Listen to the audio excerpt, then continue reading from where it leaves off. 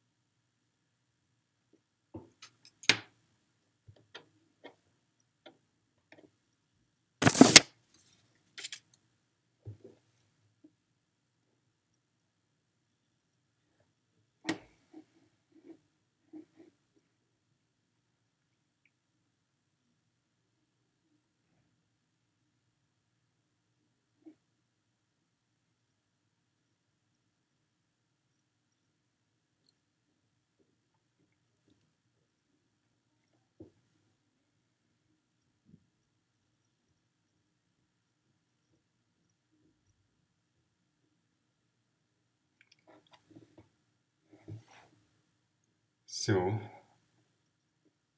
Ich glaube, wir können langsam beginnen. Ich möchte alle heute herzlich dazu begrüßen, die sich entschlossen haben, dem Modul Blut heute beizuwohnen bei dieser Premiere auch für mich erstmalig sozusagen auf YouTube präsent zu sein. Ich hoffe, das Ganze wird technisch reibungslos vonstatten gehen und ähm, auch ohne größere technische Probleme funktionieren. Soll es irgendwelche Probleme geben, der Kollege Huber hat ohnehin schon angedeutet, das einfach im Chat zu verlauten, beziehungsweise eventuell sonst zur Not auch per E-Mail direkt an mich zu kommunizieren. So, was steht heute im Programm? Ich habe die Aufgabe, Ihnen fünf Stunden etwas über das Blut und das Immunsystem beizubringen oder zu erzählen. Und dementsprechend würden wir zuerst einmal mit den hämatopoetischen Organen beginnen. Sie haben meines Wissens schon einige Stunden vom Kollegen Stauder, Kollege Wolf und ähm, Kollege Sopper genossen und sind dementsprechend schon etwas sensibilisiert auf das, was jetzt auf sie zukommen wird. Ich bin kontaktiert worden bezüglich einem potenziellen Konflikt mit der Vorlesung, die von der Frau Kollegin Gress stattfinden wird um 14 Uhr. Und dementsprechend äh, kann ich Ihnen nur sagen, es besteht die Möglichkeit, diese Vorlesung von mir über einen gewissen Zeitraum jederzeit über den YouTube-Kanal vom Kollegen Huber abzurufen. Das heißt, Sie müssen sich keine Sorgen machen. Was auch immer Sie hier verpassen, können Sie später zu einer Ihnen beliebigen Zeit dann auch noch nachholen. Ja. Wie gesagt, wenn es Fragen gibt, bitte im Chat einfach kommunizieren. Ich werde dann probieren, die nach der Pause oder sonst morgen um 14 Uhr dann äh, zu beantworten gegebenenfalls eventuell auch einfach per E-Mail an mich kommunizieren. Meine E-Mail-Adresse leicht nachvollziehbar Andreas Villunger at imate.cat und ich leite das, das Institut für Entwicklungsimmunologie am Biozentrum. So, wir starten. Sie haben gehört, wahrscheinlich vom Kollegen Stauder und vom Kollegen Wolf, dass das hämatopoetische System sich eigentlich von einer einzigen Zelle ableitet, die die Fähigkeit hat, sich auf der einen Seite selbst zu erneuern, sprich zu regenerieren, und auf der anderen Seite einen, eine Vorläuferzelle hervorzubringen. Ja, diese hämatopoetische Stammzelle ist also in dem Sinne multipotent und kann als Ursprung aller hämatopoetischen Zellen angesehen werden, die wir im Blut finden. Ja, das geschieht im Endeffekt durch asymmetrische Teilung, wobei eine der beiden Tochterzellen dieses Stammzellschicksal sozusagen aufrechterhält, wohingegen die zweite Tochterzelle in einen leicht differenzierten Zustand übertritt und dann weiter entlang der hämatopoetischen Reihe sich entwickeln kann, um dann am Ende des Tages eine spezialisierte Zelle im peripheren Blut, beispielsweise in neutrophilen Granulozyten oder einen Erythrozyten zu bilden. Hämatopoetische Stammzellen, wie Sie vielleicht sich erinnern dürften, findet man hauptsächlich im Knochenmark beim Erwachsenen. Man findet die aber auch im peripheren Blut. Das heißt, die verlassen das Knochenmark oder können das Knochenmark verlassen, zirkulieren durch die Peripherie, um dann wieder sich im Knochenmark niederzulassen oder einen weiteren Zyklus einzugehen. Man kann Stammzellen dementsprechend auch aus dem peripheren Blut isolieren und anreichern und um sie ins periphere Blut zu locken, muss man natürlich in höherer Zahl muss man verschiedene Tricks anwenden, unter anderem die Zugabe eines Wachstumsfaktors, der als GCSF bezeichnet wird, oder eben Granulozyten, koloniestimulierende Faktor, der eigentlich indirekt die Stammzellen aus dem Knochenmark herauslöst und die ins Blut übertreten lässt. Indirekt deshalb, weil GCSF, wie der Name schon verrät, eigentlich primär Granulozyten stimuliert und das heißt, dass die Ausreifung und die Produktion von diesen myologischen Zellen vorantreibt, die gewisse Enzyme und Proteasen ausschütten, die mehr oder weniger dazu dienen, die Stammzelle aus ihrem Knochenmarksmilieu herauszulösen. Ja. Eine andere Quelle, die therapeutisch von Bedeutung ist, ist eigentlich das Nabelschnurblut, das reich an hämatopoetischen Stammzellen ist und oft für die Transplantation herangezogen wird. Stammzellen aus dem Nabelschnurblut des Neugeborenen haben den Vorteil, dass sie höheres Teilungspotenzial besitzen als eben Stammzellen aus dem adulten Knochenmark. Und diese Stammzellen aus dem Nabelschnurblut zeichnen sich unter anderem durch die Expression eines Oberflächenmoleküls mit der Abkürzung oder Bezeichnung CD34 aus. Sie werden in den nächsten Tagen, Stunden innerhalb des Moduls Blut öfter diese Bezeichnung CD, gefolgt von einer mehr oder weniger zufälligen Zahl, ähm, erfahren bzw. sehen. Und diese CD-Moleküle, das CD steht für Cluster of Differentiation, beschreibt eigentlich nichts anderes als eine Reihe von verschiedensten Oberflächenproteinen, die auf hämatopoetischen Zellen und auch auf Endothelzellen gefunden werden können und mit deren Hilfe man verschiedene Subpopulationen von hämatopoetischen Zellen definieren kann. Die Nomenklatur ist relativ fortgeschritten, also es gibt mittlerweile, glaube ich, über 330 CD-Moleküle.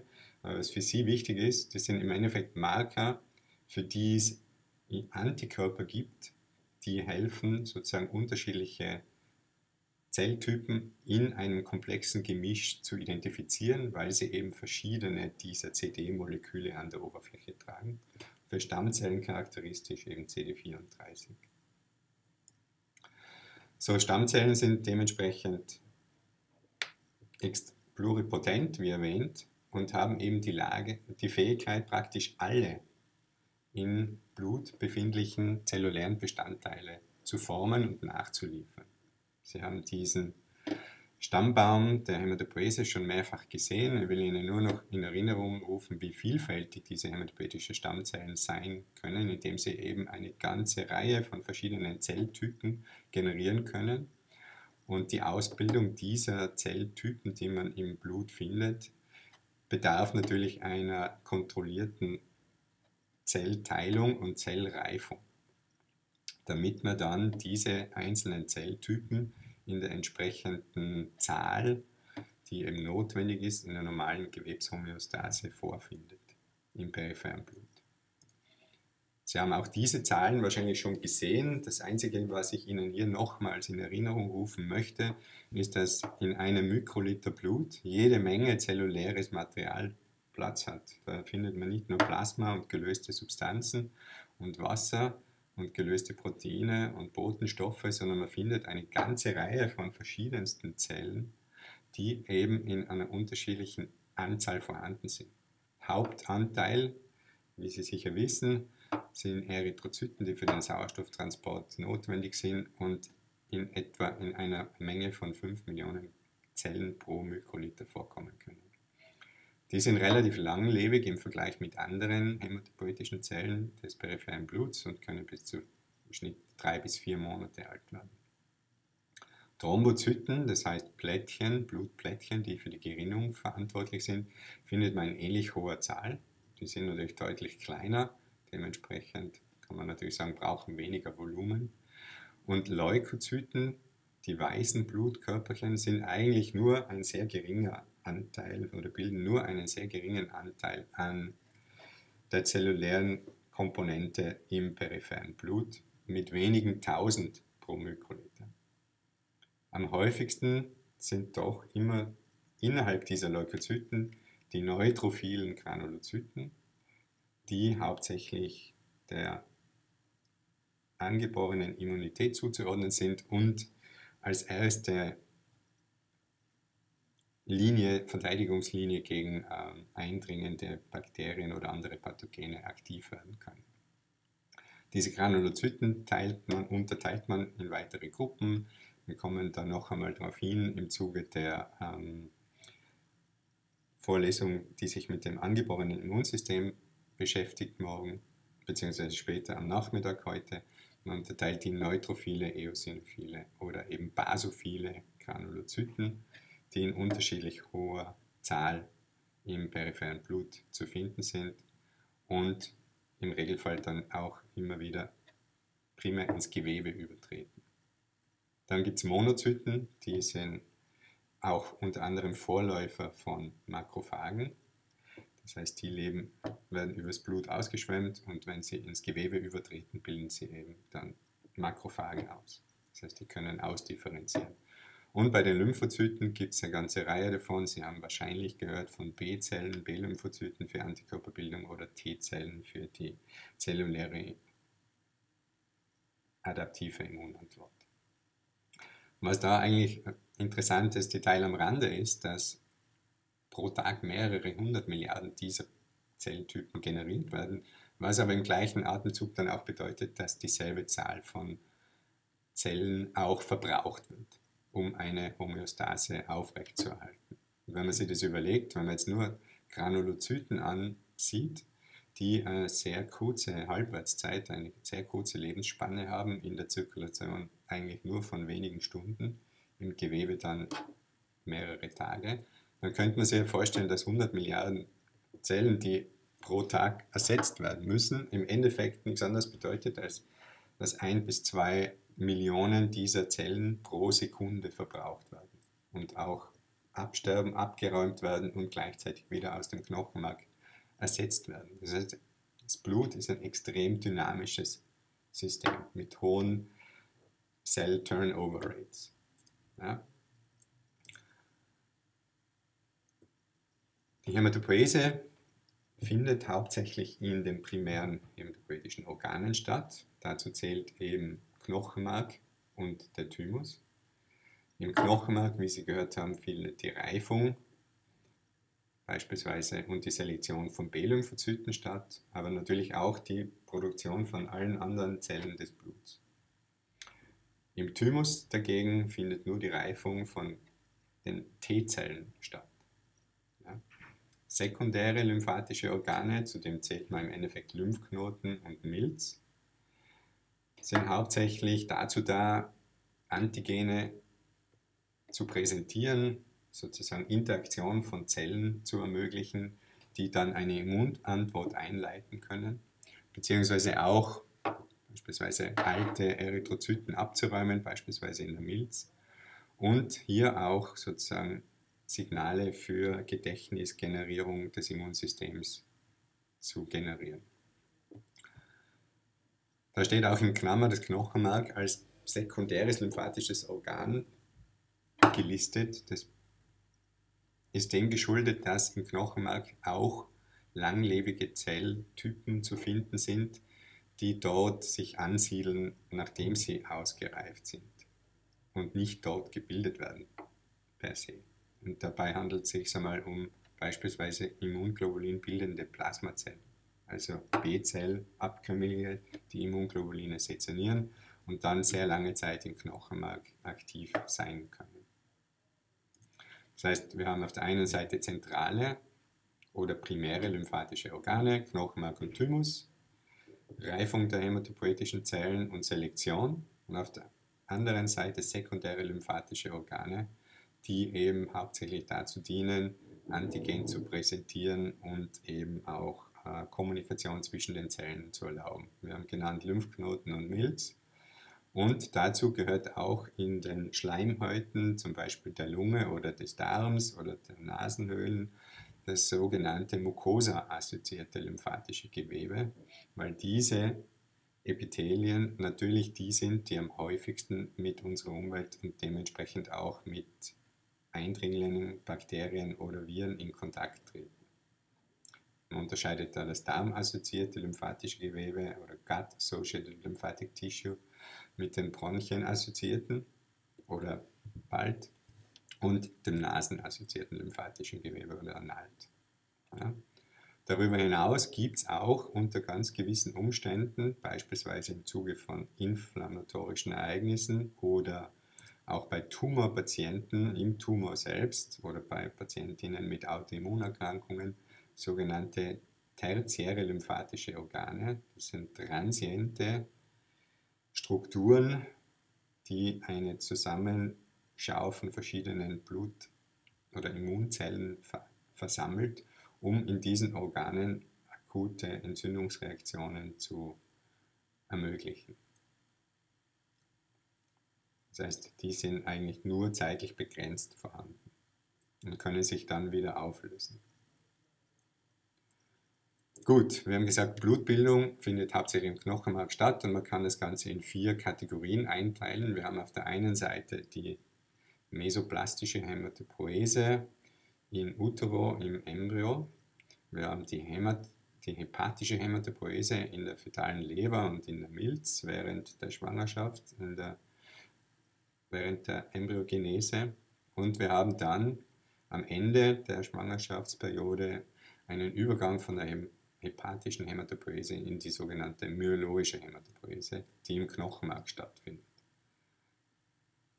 Demgegenüber gibt es dann zusätzlich noch unter gewissen Bedingungen eine sogenannte extrameduläre Hämatopoese, die aber nur dann stattfindet, wenn beispielsweise aus verschiedenen pathologischen Gründen eine Knochenmarksunterfunktion ein vorkommt und somit es zu einer Reaktivierung der Hämatopoese in anderen Organen, hauptsächlich der Leber und der Milz, gibt. Es kann beispielsweise im Zuge einer Myelofibrose auftreten, sprich während einer Erkrankung, die das Knochenmark verdrängt. Heißt, in der mesoplastischen Hämatopoese findet man schon früh, früh primitive Erythrozyten, die sozusagen aus dem Dottersack entstehen und den Embryo mit Sauerstoff versorgen. Und nach zwei bis sechs Wochen kommt man zu einer Situation, wo sich die ersten Stammzellen nachweisen lassen, die aus Hemangioblasten hervorgehen. Das sind bipotente Zelltypen in der AGM-Region, die auf der einen Seite Endothel, also Blutgefäße, ausbilden können, auf der anderen Seite auch sozusagen ähm, hämatopoetische Stammzellen bilden können, die dann eben sich in die fetale Leber einnisten und auch in die Milz und diese besiedeln beginnen. AGM in dem Fall steht für Aorta Gonad Mesonephros Region, eine frühe Anlage, wo eben die Nieren, die Gonaden sich heraus entwickeln. Sie haben auch gehört, dass natürlich die Blutbildung im ähm, Knochenmark beim Säugling im gesamten Skelett stattfinden kann. Das liegt darin, dass dort das rote Knochenmark dominiert und das gelbe Fettmark noch nicht ausgebildet ist, welches sich aber erst dann mit zunehmendem Alter weiter und weiter verbreitet. Das heißt, beim Erwachsenen haben wir im Endeffekt hämatopoetische Stammzellen primär im Stammskelett und Hämatopoese dementsprechend in den Wirbeln, Rippen, im Brustbein, im Kreuzbein und im Beckenknochen sowie in den Schädelknochen beziehungsweise im roten Anteil des Extremitätenskeletts, sprich im Oberarm und Oberschenkelknochen, Femur und Humerus. Im Knochen findet man natürlich nicht nur hämatopoetische Zellen, sondern man findet natürlich eine ganze Reihe von äh, Stromazellen, die die Blutbildung unterstützen. Auf der einen Seite haben wir Adipozyten, also Fettzellen, die man in diesem H&E-Schnitt relativ gut als große weiße Einschlusskörper erkennen kann. Das sind Fettablagerungen. Wir haben Fibroblasten, wir haben Endothelzellen, die, diese, die natürlich die Mikrovaskulatur im Knochen bilden. Wir haben Fibroblasten und Chondrozyten, die diese Trabekel ausbilden. Wir haben Osteoblasten, die den Knochenaufbau unterstützen und Osteoklasten, die von Makrophagen abstammen und im Endeffekt dann ähm, auch Knochen wieder abbauen können. Diese Stromazellen entwickeln sich primär aus sogenannten mesenchymalen Stammzellen, die man auch im Knochenmark findet, die dann in weiterer Folge sich eben zu Adipozyten, Fibroblasten, Osteoplasten und Knorpelzellen, Chondrozyten ausbilden können. Hämatopoetische Stammzellen sind in diesem ganzen zellulären Netzwerk eigentlich die am geringsten oder am wenigsten häufig vorkommende Gruppe und man findet nur alle 10 bis 20 Millionen Zellen im, im Knochenmark sind wirklich auch äh, hämatopoetische Stammzellen. Und diese besitzen eigentlich eine relativ geringe Teilungsaktivität, werden also nur auf Bedarf hin mobilisiert und aktiviert, wie beispielsweise im Zuge einer akuten Entzündung.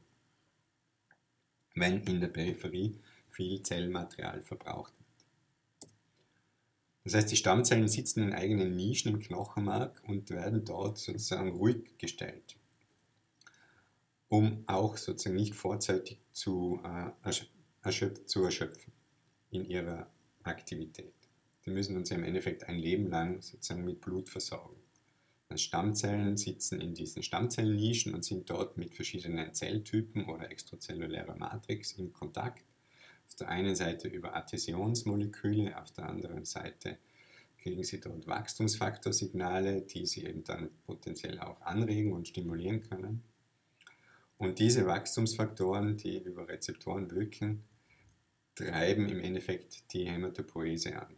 Das heißt, wir haben auf der einen Seite links hier im Bild die Stammzellen, die sich hauptsächlich auf der einen Seite selbst erneuert und auf der anderen Seite eine der Tochterzellen beispielsweise auf Wachstumsfaktoren reagiert, um dann in eine sogenannte multipotente Vorläuferzelle, MPP, Multipotent Progenitor Zelle, überzugehen, die sich mehrfach teilen kann und dann im Zuge von weiteren Differenzierungssignalen beispielsweise in eine gemeinsame lymphatische Vorläuferzelle CLP oder in eine gemeinsame myologische Vorläuferzelle CMP ausbilden heißt, über 20 Zellteilungen kann man von einer Zelle ausgehend ca. eine Million mehr oder weniger differenzierter Zellen erhalten.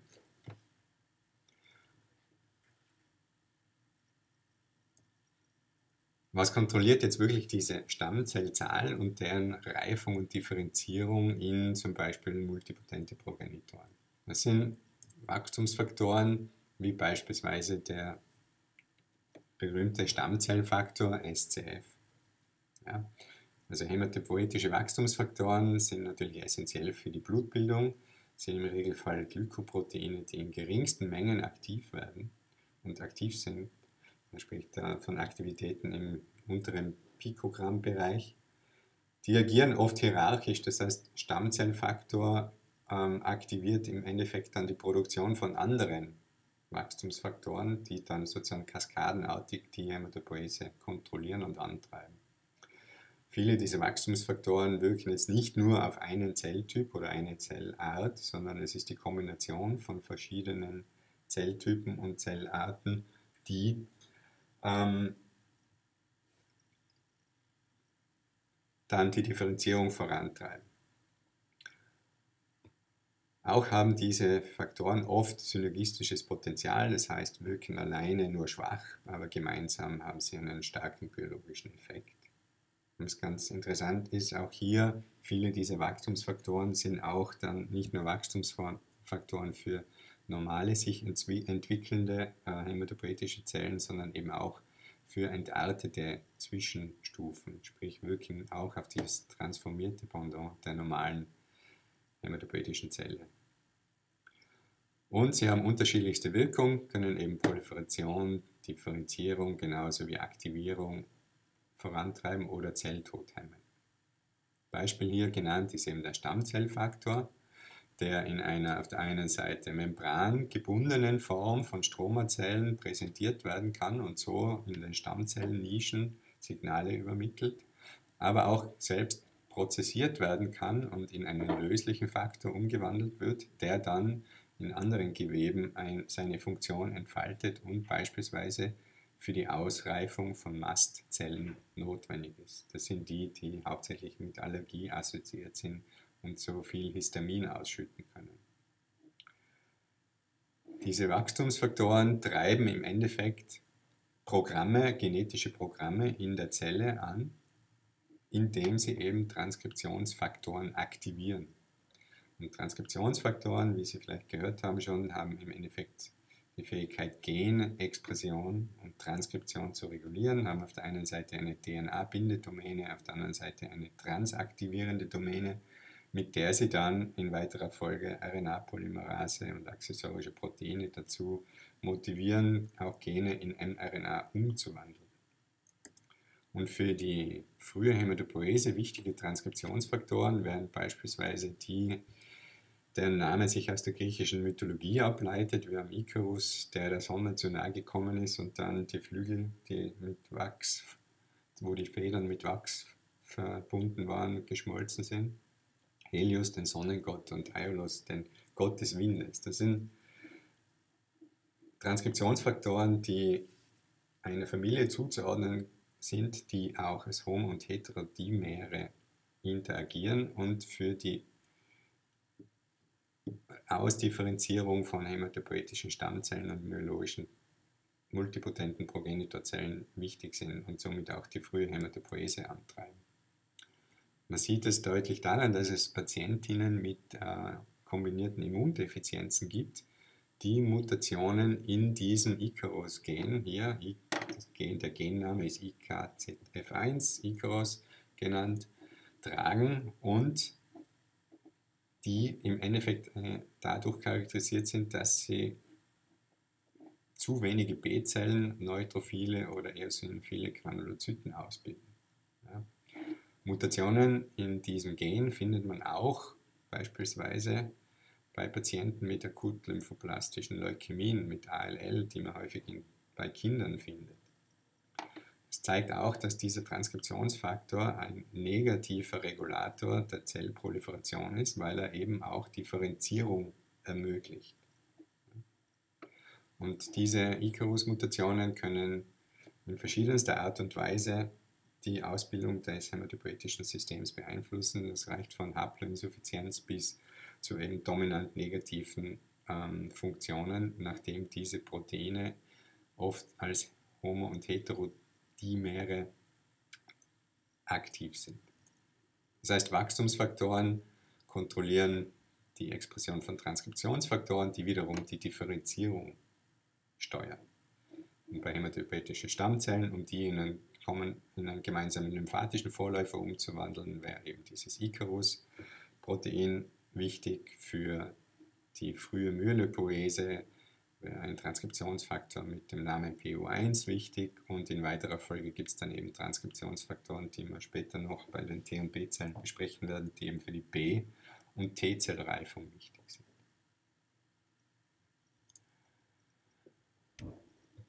Hier gelistet in dieser Tabelle sehen Sie eine ganze Reihe von Wachstumsfaktoren, die in der Hämatopoese eine wichtige Rolle spielen. Ich habe Ihnen auch hier zusammengefasst, was diese ganzen Abkürzungen, die immer wieder vorkommen, bedeuten. Das heißt, wir sprechen auf der einen Seite von SCF, dem Stammzellfaktor. Wir sprechen von Interleukinen, IL abgekürzt, mit beispielsweise Interleukin 1 oder Interleukin 3. Und wir sprechen von koloniestimulierenden Faktoren wie eben GCSF oder GMCSF oder MCSF, die in weiterer Folge, wie der Name schon verrät, für die Ausbildung der Granulozyten oder Makrophagen verantwortlich sind.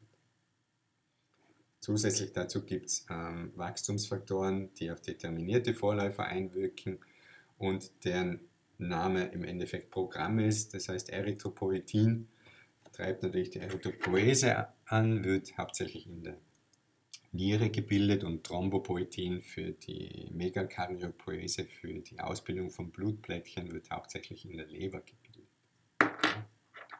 Und diese Wachstumsfaktoren wirken eben auf verschiedene Vorläufer oder eben auch auf Stromazellen im Knochenmark. Wie tun sie das? Sie tun das natürlich jetzt nicht, indem sie einfach an die Zelloberfläche anklopfen und dann sagen, hier bin ich und lasst mich hinein, sondern sie binden dort ganz spezielle Oberflächenmoleküle, sogenannte Rezeptoren, die für die Hämatopoese wichtig sind und die kommen wiederum in verschiedenen Farben und Geschmacksrichtungen. Es gibt homodimere Rezeptoren, wie beispielsweise der Rezeptor für das Erythropoetin, wo es zwei Polypeptidketten desselben Typs gibt, die vereint einen Rezeptor bilden. Dann gibt es heterodimere Rezeptoren, wo praktisch eine Kombination aus einer gemeinsamen Kette, wie eben der Beta-Kette oder der Gamma-Kette, mit einer spezifischen Alpha-Kette dann einen Rezeptor für Interleukin 3 bildet oder Interleukin 5 oder eben im Zuge der gemeinsamen Gamma-Kette einen Rezeptor für Interleukin 2, 4, 7 oder 9. Das heißt, man sieht dann schon, dass beispielsweise eine Defizienz oder Mutation in der Gamma-Kette hier eine massive Beeinträchtigung der Hämatopoese nach sich ziehen wird. Und das ist auch so. Dann gibt es heterodimere und trimere Rezeptoren, wie beispielsweise dimere Rezeptoren für die Interleukin-1-Familie von Zytokinen und auf der anderen Seite haben wir da heterodimere Rezeptoren für Interferone als merkenswertes Beispiel. Tumor eine große Faktor, TNF, ein zentrales Zytokin der Inflammation und der Immunantwort, signalisiert über primäre Rezeptoren. Und TNF ist ein Gründungsmitglied, wenn man so will, einer großen Familie, die eine ganze Reihe von immunmodulatorischen Faktoren beinhaltet. Chemokine, die für Chemotaxis und für das Anlocken von Immunzellen und Zellen aus dem Blut notwendig sind, findet man hauptsächlich in der Form von diesen sieben Transmembranrezeptoren, die dann im Regelfall G-Protein gekoppelt sind. Wenn ein Zytokin also einen Wachstumsfaktorrezeptor trifft, passiert im Regelfall immer was ähnliches. Man kann das hier symbolisch zusammenfassen und sagen, dass ein Zytokin primär dazu beiträgt, Rezeptormonomere zusammenzuführen, sprich eine Dimerisierung einzuleiten. Und an diesen Rezeptormonomeren gekoppelt findet man verschiedene intrazelluläre Moleküle, wie diese Januskinasen hier, die in weiterer Folge nach Dimerisierung ihre Funktion ausleben. Das heißt, Kinase, Sie erinnern sich vielleicht daran, dass Kinasen Proteine modifizieren, indem sie Phosphatreste daran heften, sprich Phosphorylierung durchführen. Und diese Phosphorylierung generiert dann wieder Bindungsstellen für accessorische Moleküle, in diesem Fall diese STAT-Moleküle, die zuerst inaktiv sind, zum Rezeptor rekrutiert werden und dann in weiterer Folge dort phosphoryliert und aktiviert werden, um dann in den Kern zu translozieren und dort ihre Funktion als Transkriptionsfaktor auszuüben.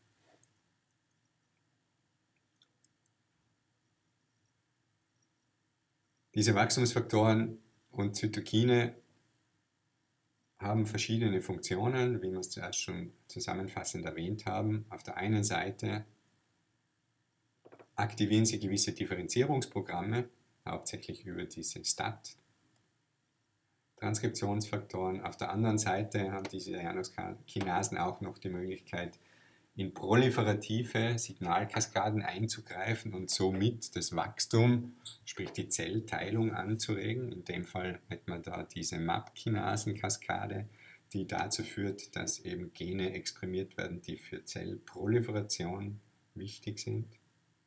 Und auf der anderen Seite kann diese Januskinasen auch noch eine Signalkaskade aktivieren, die dazu dient, Zelltod zu unterdrücken ja, und somit das Überleben dieser sich differenzierenden Zellen zu gewährleisten. Das heißt, wir haben STAT für Differenzierung, wir haben MAP-Kinasen für Proliferation und wir haben dieses AKT-Signalmodul für das Überleben dieser Zellen.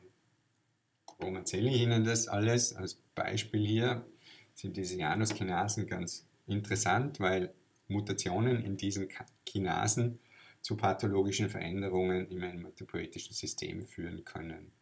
Und das best untersuchte Beispiel hier wäre eben diese myeloproliferativen Neoplasien, also als MPNs zusammengefasst, die durch Mutation in JAK2, in der Januskinase Typ 2, hervorgerufen werden.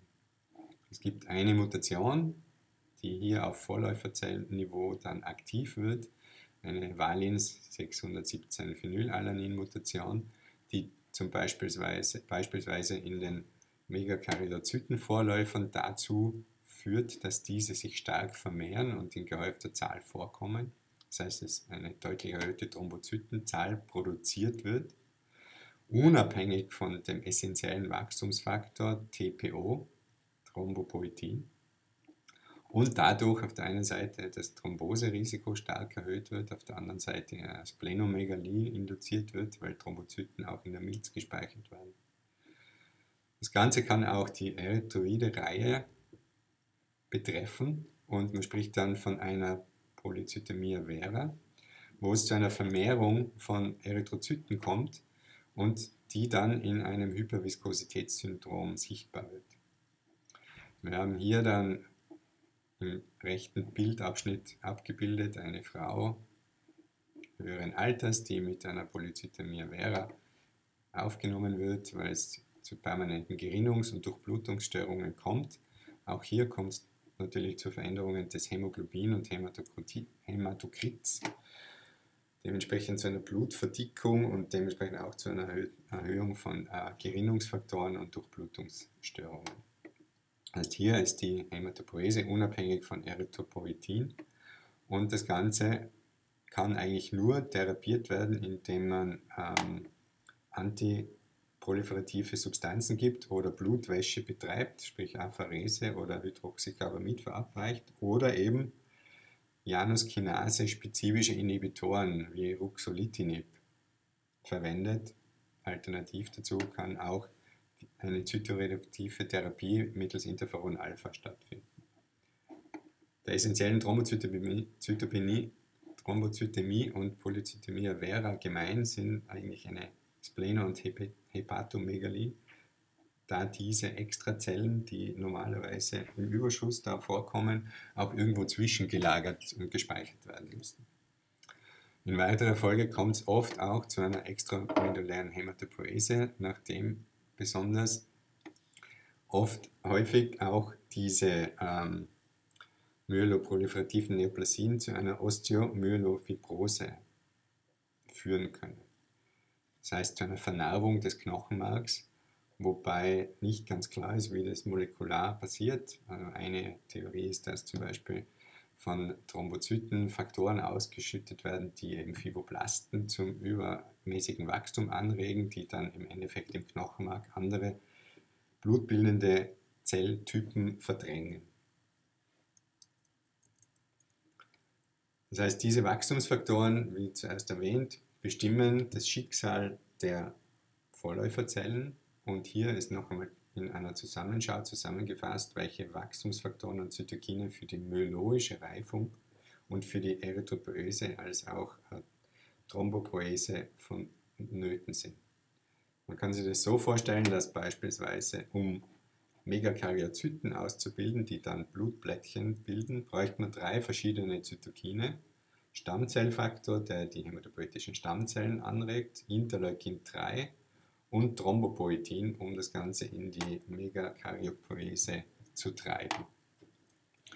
Demgegenüber steht dann als anderes Beispiel hier die Interaktion zwischen Stammzellfaktor, Interleukin 3 und GMCSF in Kombination mit IL-5 würde dann die Ausbildung von eosinophilen Granulozyten ermöglichen.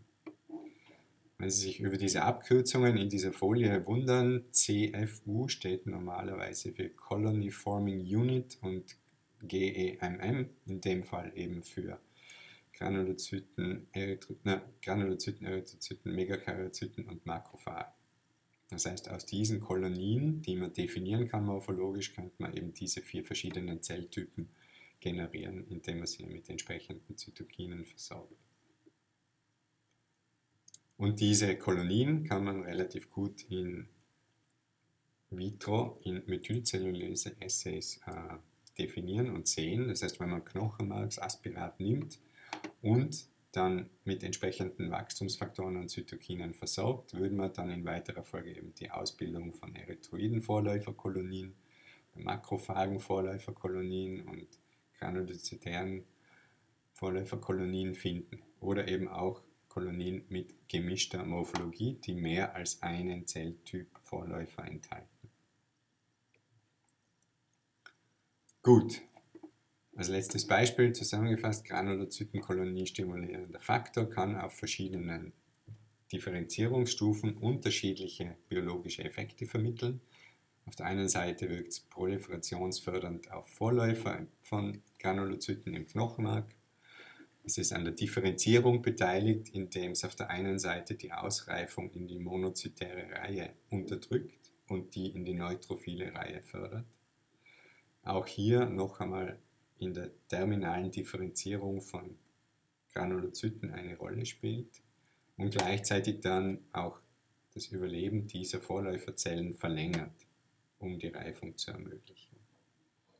Last but not least wirkt Granulozytenkolonie-stimulierende Faktor auch noch aktivierend auf reife Zellen und unterstützt die Sekretion von ähm, antibakteriellen Substanzen. Wir haben zuerst am Anfang erwähnt, dass das hämatopoetische Stammzellen aus dem Blut isoliert werden können, sprich, dass sie auch aus dem Knochen ins Blut übertreten können, mobilisiert werden können und sozusagen eine Reise durch den Körper antreten, wo sie auf der einen Seite über die Zirkulation in periphere Gewebe eindringen können, dort eine gewisse Zeit verbleiben oder dann über das lymphatische Gefäßsystem wieder abgeführt werden und durch Lymphknoten schlussendlich wieder in den Blutstrom übergehen, wo sie in einem Prozess, der als Homing bezeichnet wird, wieder im Knochenmark sich ansiedeln können oder diese Reise erneut angehen können. Sie wissen vielleicht aus der Anatomie und aus der Physiologie, dass das äh, lymphatische System im Gegensatz zum Blutkreislauf ein offenes System darstellt. Das heißt, dass Lymphkapillaren ein offenes Ende haben im Gewebe, wo sie im Endeffekt Flüssigkeit, welches durch Druckfiltration aus den Endstromkapillaren äh, aufnehmen. Sprich, aus den Endstromkapillaren tritt Plasma und Blut aus ins Gewebe, in die, in die Gewebszwischenräume, welches zum einen Teil wieder ins venöse System abgeführt wird oder eben auch über das Lymphgefäßsystem, Lymphgefäßsystem gesammelt werden kann. Und dadurch können auch Antikörper, Bakterien, andere Antigene und auch zelluläre Komponenten, wie eben Makrophagen oder dendritische Zellen, wie Sie heute Vormittag gehört haben, zu den Lymphknoten gelangen. Das lymphatische System im menschlichen Körper umfasst mehrere hundert, 700 Lymphknoten und andere natürlich sekundäre äh, lymphatische Organe. Und die Lymphe wird über zwei verschiedene Systeme wieder in den Blutstrom überführt, nachdem sie gesammelt wird. Auf der einen Seite haben wir den rechten lymphatischen Gang oder auch Ductus lymphaticus dexter genannt, der Lymphe in die rechte Vena subclavia überführt und somit den Blutstrom wieder zuführt. Und der Rest des Körpers hier, die linke Kopfhälfte, linke Oberkörperhälfte, die Beine und der linke Oberarm sammeln sozusagen Lymphe in den Ductus thoracicus. Und der auch als Milchbrustgang bekannt ist, weil er eben diese milchig trübe Flüssigkeit sammelt und dann dem Blut wieder zuführt. Und im Schnitt werden ca. 2 Liter Lymphflüssigkeit pro Tag so über das Lymphsystem transportiert und im Endeffekt mit verschiedenen Zelltypen, Nährstoffen angereichert, beispielsweise Fette aus dem Darm, die über die Lymphe ins Blut sozusagen zurückgeführt werden. Das heißt, der linke lymphatische Gang, Ductus thoracicus, wird dann in die linke Vena subclavia übergeführt, die ist dann mit, äh, im Endeffekt mit, äh, äh in die Brachiocephalica übergeht. So, diese Lymphknoten sind sozusagen Filterstationen oder Konferenzzentren, wenn man so will, für verschiedene Zelltypen des hämatopoetischen Systems und sind in verschiedene Regionen aufgebaut. Auf der einen Seite haben wir sozusagen zuführende afferente Lymphgefäße, wo Lymphflüssigkeit hinein in diese Sammelstellen transportiert wird. Wir haben einen Randsinus, wo auch Flüssigkeit sich und verschiedene Zelltypen anlagern. Und wir haben unter dem Randsinus haben wir im Endeffekt eine Zone, die hauptsächlich aus B- und B-Zellen als B-Lymphozyten besteht, die sich dort in primären und sekundären Lymphfollikeln sammeln und auch sogenannte Keimzentren ausbilden können, wo Immunreaktionen stattfinden. Sprich, wo Antigene an B-Zellen präsentiert werden und diese B-Zellen dann zur Zellteilung angeregt werden. Darunter liegend haben wir diese parakortikale T-Zellzone, wo man hauptsächlich T-Zellen findet, dendritische Zellen und Makrophagen. Was vielleicht ganz interessant ist, dass eigentlich ist die Tatsache, dass T-Zellen und B-Zellen primär über, die, über das Blutgefäßsystem hier eingeschleust werden, wohingegen myeloische Zellen, dendritische Zellen, Makrophagen hauptsächlich über das afferente Lymphgefäß in den Lymphknoten eintreten. Monozyten beispielsweise, die aus dem Blutstrom kommen, können sich nicht in den Lymphknoten ausbreiten, weil sie die falschen sozusagen Rezeptoren an der Oberfläche haben und so sozusagen nicht vom Gefäßsystem in den, in den Gefäßzwischenraum einwandern können. Und die Lymphe sammelt sich dann in diesen kortikalen Sinus und wird über efferente Lymphgefäße wieder abgeführt bis zum nächsten Lymphknoten. Wir unterscheiden also im Groben im Endeffekt Cortex und Medulla, sprich Rinde und Mark, die eben diese verschiedenen Zelltypen und Regionen beinhaltet.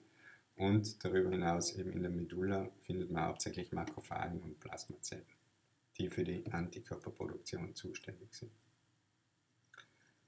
So, ich sehe gerade, dass wir mit der ersten Stunde im Endeffekt schon um sind, durch sind. Ähm, ich würde trotzdem jetzt noch kurz weitermachen, weil es wenig Sinn macht, einen Stream zu halten, der 15 Minuten Pause beinhaltet. Das heißt, ich würde jetzt einfach nur die nächsten 15 Minuten weitermachen und dann eine kurze Pause machen. Das würde Ihnen die Möglichkeit geben, dass Sie eventuell zur Kollegin Kress umschalten, wenn Sie so wollen. Gut, Nächstes sekundäre lymphatische Organ von Bedeutung ist eben die Milz. Das ist das größte lymphatische Organ, wenn Sie so wollen, im Körper. Und da gibt es die 4711-Regel, die sich auf die durchschnittliche Größe der Milz bezieht. Ist ein Organ von ca. 200 Gramm Größe. Die Aufgabe ist auf der einen Seite eine Filterfunktion, das heißt Aufnahme von Antigen aus dem Blut. Die Milz ist nicht mit dem lymphatischen System verbunden. Und dort findet primär die Phagozytose von bekapselten Bakterien statt, wie Meningokokken oder Pneumokokken und mit Immunglobulin opsonierten Bakterien. Das heißt, es sind Bakterien, die dekoriert wurden mit Antikörpern und dementsprechend leichter von Phagozyten aufgenommen werden können. Auf der anderen Seite ist eine wichtige Rolle der Milz, alte Erythrozyten auszusortieren, die in diesen Blutzwischenräumen, in diesen Milzsinus ähm, über den Blutstrom gelangen und sich eigentlich dann zurück ins Endothel, in das Gefäßsystem zurückzwängen sollten. Dieser Prozess ist allerdings für, ich sage jetzt mal, überaltete und defekte Erythrozyten entweder einfach durch Alter oder durch verschiedene genetische Veränderungen, wie im Zuge einer Sichelzellanämie, deutlich schwieriger. Und dementsprechend werden diese Zellen dort häufiger oder bevorzugt von Makrophagen phagozytiert. Auf der anderen Seite kontrolliert die Milz auch die Immunantwort und trägt zur Ausreifung von B-Lymphozyten bei und hilft bei der Aktivierung von T-Lymphozyten, über die wir morgen noch sprechen werden. Dementsprechend kann man zusammenfassen, hat die Milz auf der einen Seite eine immunologische Funktion und auf der anderen Seite eine Speicherfunktion und dient als Speicher für Erythrozyten und Thrombozyten, die rasch mobilisiert werden können. Unter, unter bestimmten Bedingungen kann natürlich auch dort, wie vorab erwähnt, extrameduläre Hämatopoese stattfinden, beispielsweise wenn es zu einer äh, Myelofibrose im Knochenmark kommt, im Zuge von diesen vorhin erwähnten myeloproliferativen Neoplasien oder, oder einer chronischen myeloischen Leukämie. So, die Anatomie der Milz. Im Endeffekt haben wir, unterscheiden wir drei Kompartimente. Das heißt, wir haben eine weiße Pulpa, die ungefähr 20% des Volumens ausmacht. Die wird von einer Milzarterie gespeist die sich aufteilt in eine Balkenarterie, Pulperarterie und Zentralarterien oder Arteriolen, die sich dann in diesen Milzsinus ergießen. Und dort findet man im Milzsinus eben nur Blut und keine Lymphe. Die Zentralarterien oder zentralen Arteriolen der Milz sind von einer Zusammenschau von verschiedenen Zellentypen umgeben, die als strukturell als periarterielle lymphatische Scheide benannt werden. Dabei handelt es sich um T-Zellen und um dendritische Zellen, die sozusagen hier auch Antigen aus dem Blut dann aufnehmen. Und diese T- und T-Zellen und dendritischen Zellen sind dann umsäumt von sogenannten Milzfollikeln, was nichts anderes sind als Keimzentren, die man auch im Lymphknoten sieht und in der Milz halt auch als malpighische Körperchen bezeichnet werden, die aus B-Zellen und in dem Fall follikulären dendritischen Zellen bestehen, die der B-Zellreifung und B-Zellaktivierung behilflich sind. Der größte Teil der Milz besteht aus der roten Pulpa. Das sind eben diese postkapillaren Bluträume, die mit Ethel, Endothel, mit diesen fenestrierten Endothel ausgestattet sind, wo sich eben die hämatopoetischen Zellen und Erythrozyten wieder zurück in den Blutstrom einfügen können. Ja, und darüber hinaus findet man noch in Makrophagen, auch Makrophagen und Plasmazellen, die eben sozusagen Antigen- und Immunkomplexe aus dem Blut, die dort angeliefert werden, phagozytieren. Zwischen den beiden findet man noch eine Art Grenzzone, eine Marginalzone, die sozusagen weiße und rote Pulpa unterscheidet und an der sozusagen auch gewisse Zelltypen zu finden sind, die für diese Zone spezifisch sind. In dem Fall handelt es sich um Marginalzonen B-Zellen, die gemeinsam mit Makrophagen schnelle Antikörperbildung steuern, die hauptsächlich Immunglobulin vom Typ M ausbildet. Also hier haben Sie noch einmal die Übersicht über diese äh, von der Vena, äh, von der Arteria lienalis abgeleiteten trabekulären Arterien und ähm, Milzarterien, die sich dann aufdröseln sozusagen in diese zentralen, zentralen Arteriolen, die von dieser, von dieser periarteriellen lymphatischen Scheide umgeben sind. Man sieht hier in grün strukturell dargestellt die T-Zellzone, blau B-Zellen mit Keimzentren und in gelb hier noch, oder hier vielleicht besser sichtbar, diese Randzone oder Marginalzone. In der Histologie, die Sie ja wahrscheinlich auch gerade konsumieren über den YouTube-Kanal vom Kollegen Huber, sehen Sie dann auch Bilder wie diese aus der Milz, wo man eben in dem Fall weiße Pulper eigentlich abstruser Name, weil es eigentlich dunkler gefärbt ist als die rote Pulpa, was darauf basiert, dass hier größere Zellkerne vorkommen oder im Endeffekt Gewebe, Zelltypen, die einen Zellkern haben, wohingegen natürlich die Erythrozyten keinen Zellkern haben und sich dementsprechend nicht mit, äh, mit H und E so schön anfärben lassen. Und man sieht diese Strukturen hier, wo man im Endeffekt primäre Follikel erkennen kann. Man kann die Marginalzone rund um diesen primären Follikel erkennen und man kann auch die zentralen Arteriolen hier quer im Querschnitt oder hier im Längsschnitt erkennen und die periarterielle lymphatische Scheide. Pathologische Veränderungen der Milz werden zusammengefasst auf der einen Seite in äh, funktioneller Hyposplenismus oder Asplenie. Der kann natürlich anatomisch angeboren sein oder funktionell erworben. Und unter Hyposplenie beschreibt man im Endeffekt verschiedene Äthiologien, die zu einer Unterfunktion der Milz führen, aufgrund verschiedener hämatologischer oder immunologischer Erkrankungen. Beispiel wäre klassisches hier Verschluss der Arteria linealis, welche zu einem Milzinfarkt führen kann. Oft im Zuge spezieller hämatologischer Erkrankungen, hauptsächlich Tumorerkrankungen, wird die Milz auch therapeutisch entfernt oder kann auch nach einem Milzriss beispielsweise, nachdem das eigentlich so Bindegewebskapsel ist, die, wenn sie einmal eingerissen ist, faktisch nicht mehr zum Flicken ist und zu massiven Blutungen in den Bauchraum führt, auch äh, öfter entfernt werden müssen im Zuge von Verkehrsunfällen. Was hat das für Konsequenz? Ohne Milz hat man natürlich einen Speicher verloren und es kommt zum Anstieg von Leukozyten und Thrombozyten, dementsprechend auch zu einer Thrombosegefahr, weil natürlich plötzlich viel mehr Blättchen im Blutstrom zu finden sind. Und langfristig ist einfach die Thrombozytenzahl um ca. 30% erhöht. Nachdem die Milz die Funktion hat, hauptsächlich bekapselte Bakterien wie Pneumokokken und Meninginokokken abzufiltern und zu entfernen, haben natürlich Patienten ohne Milz auch erhöhte Infektanfälligkeit. Und das kann nach, nach einer äh, Milzentfernung akut problematisch werden. Dadurch, dass die Erythrozyten nicht mehr effizient ausgemistet werden können, findet man auch viele Erythrozyten mit strukturellen Defekten, weil die jetzt beispielsweise eben nur mehr in der Leber vernünftig eliminiert werden können. Und man findet man solche Erythrozyten mit Einschlusskörpern oder mit Membranschäden, die normalerweise entsorgt werden würden im peripheren Blut. Das Gegenteil wäre dann die Splenomegalie. Splenomegalie, Splenomegalie beschreibt natürlich eine Vergrößerung der Milz um zumindest das Dreifache, das sie sonografisch eine Größe von über 12 cm hat oder über 300 Gramm wiegt.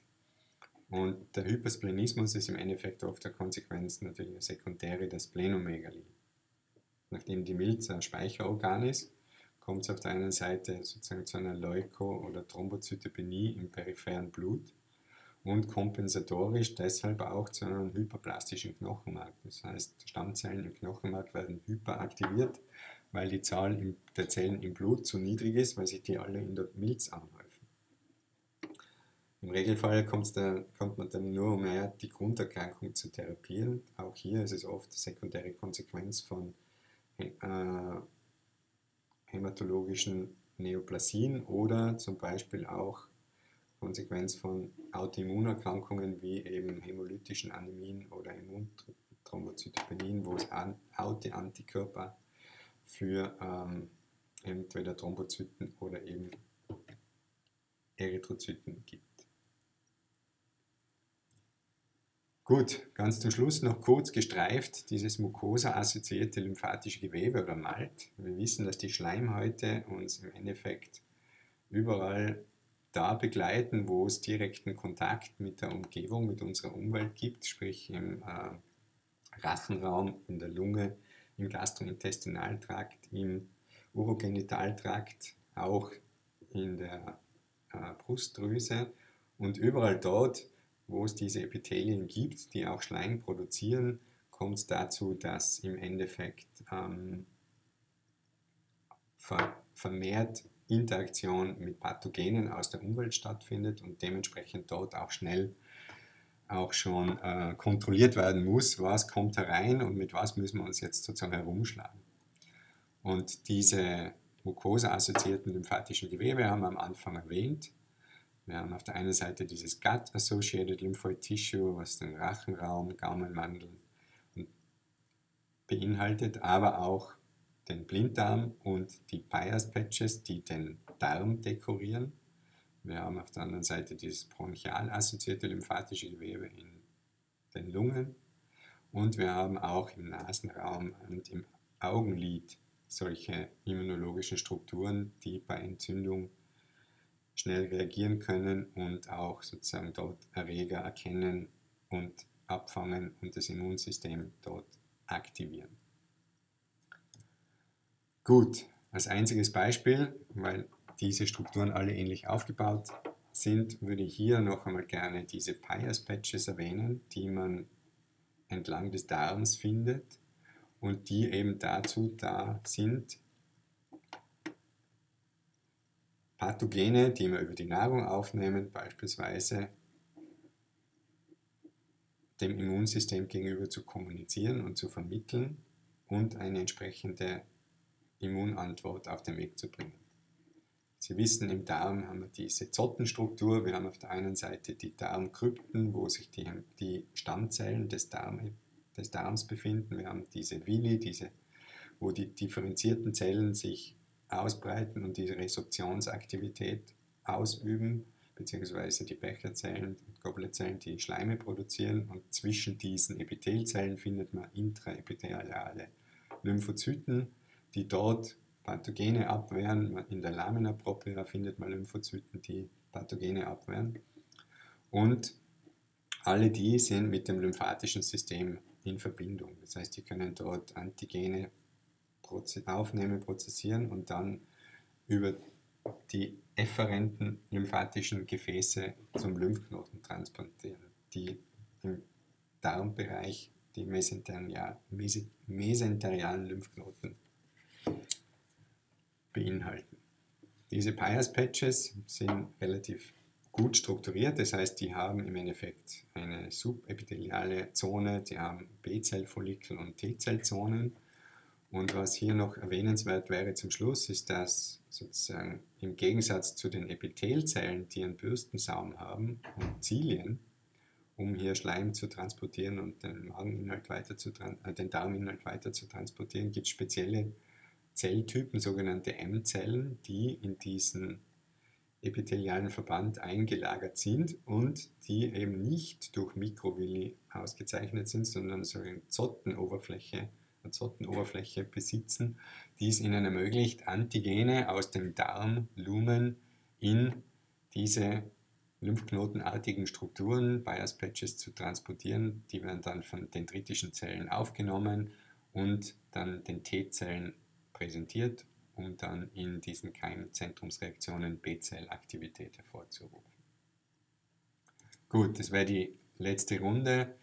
Hier noch einmal kurz ein Querverweis in die Literatur, dass diese mukoseassoziierten lymphatischen Organe auch neoplastische Entartung erfahren können, die aber oft pathogen getrieben ist und relativ effizient mit antibakteriellen Substanzen behandelbar sind.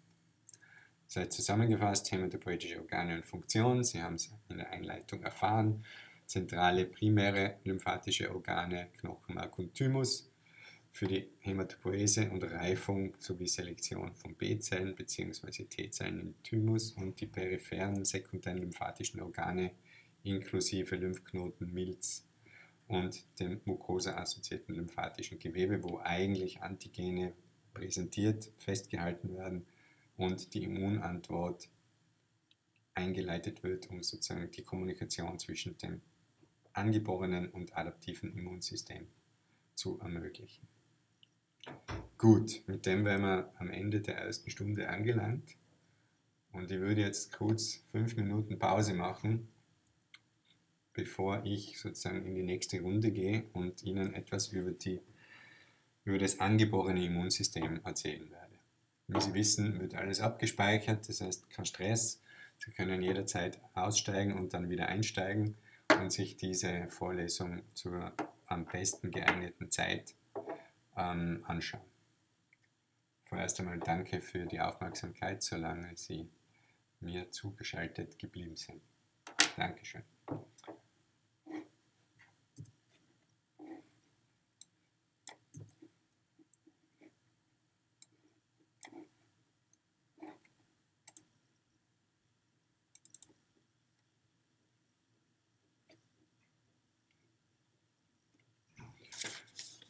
In fünf Minuten geht's weiter.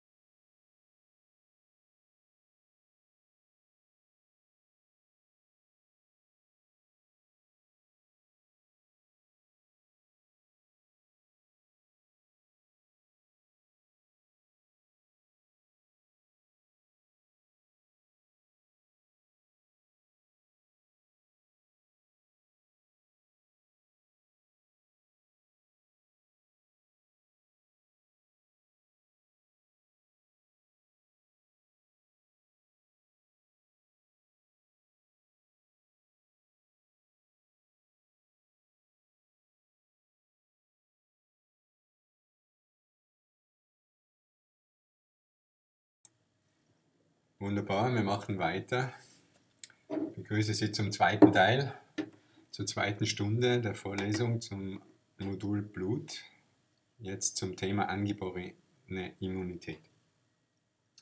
Sie haben, glaube ich, heute am Vormittag von Kollegen Sopper eine Vorlesung über dendritische Zellen gehört und die sind ein zentraler Teil der angeborenen Immunität und eigentlich primär das Bindeglied zwischen angeborener und adaptiver Immunantwort.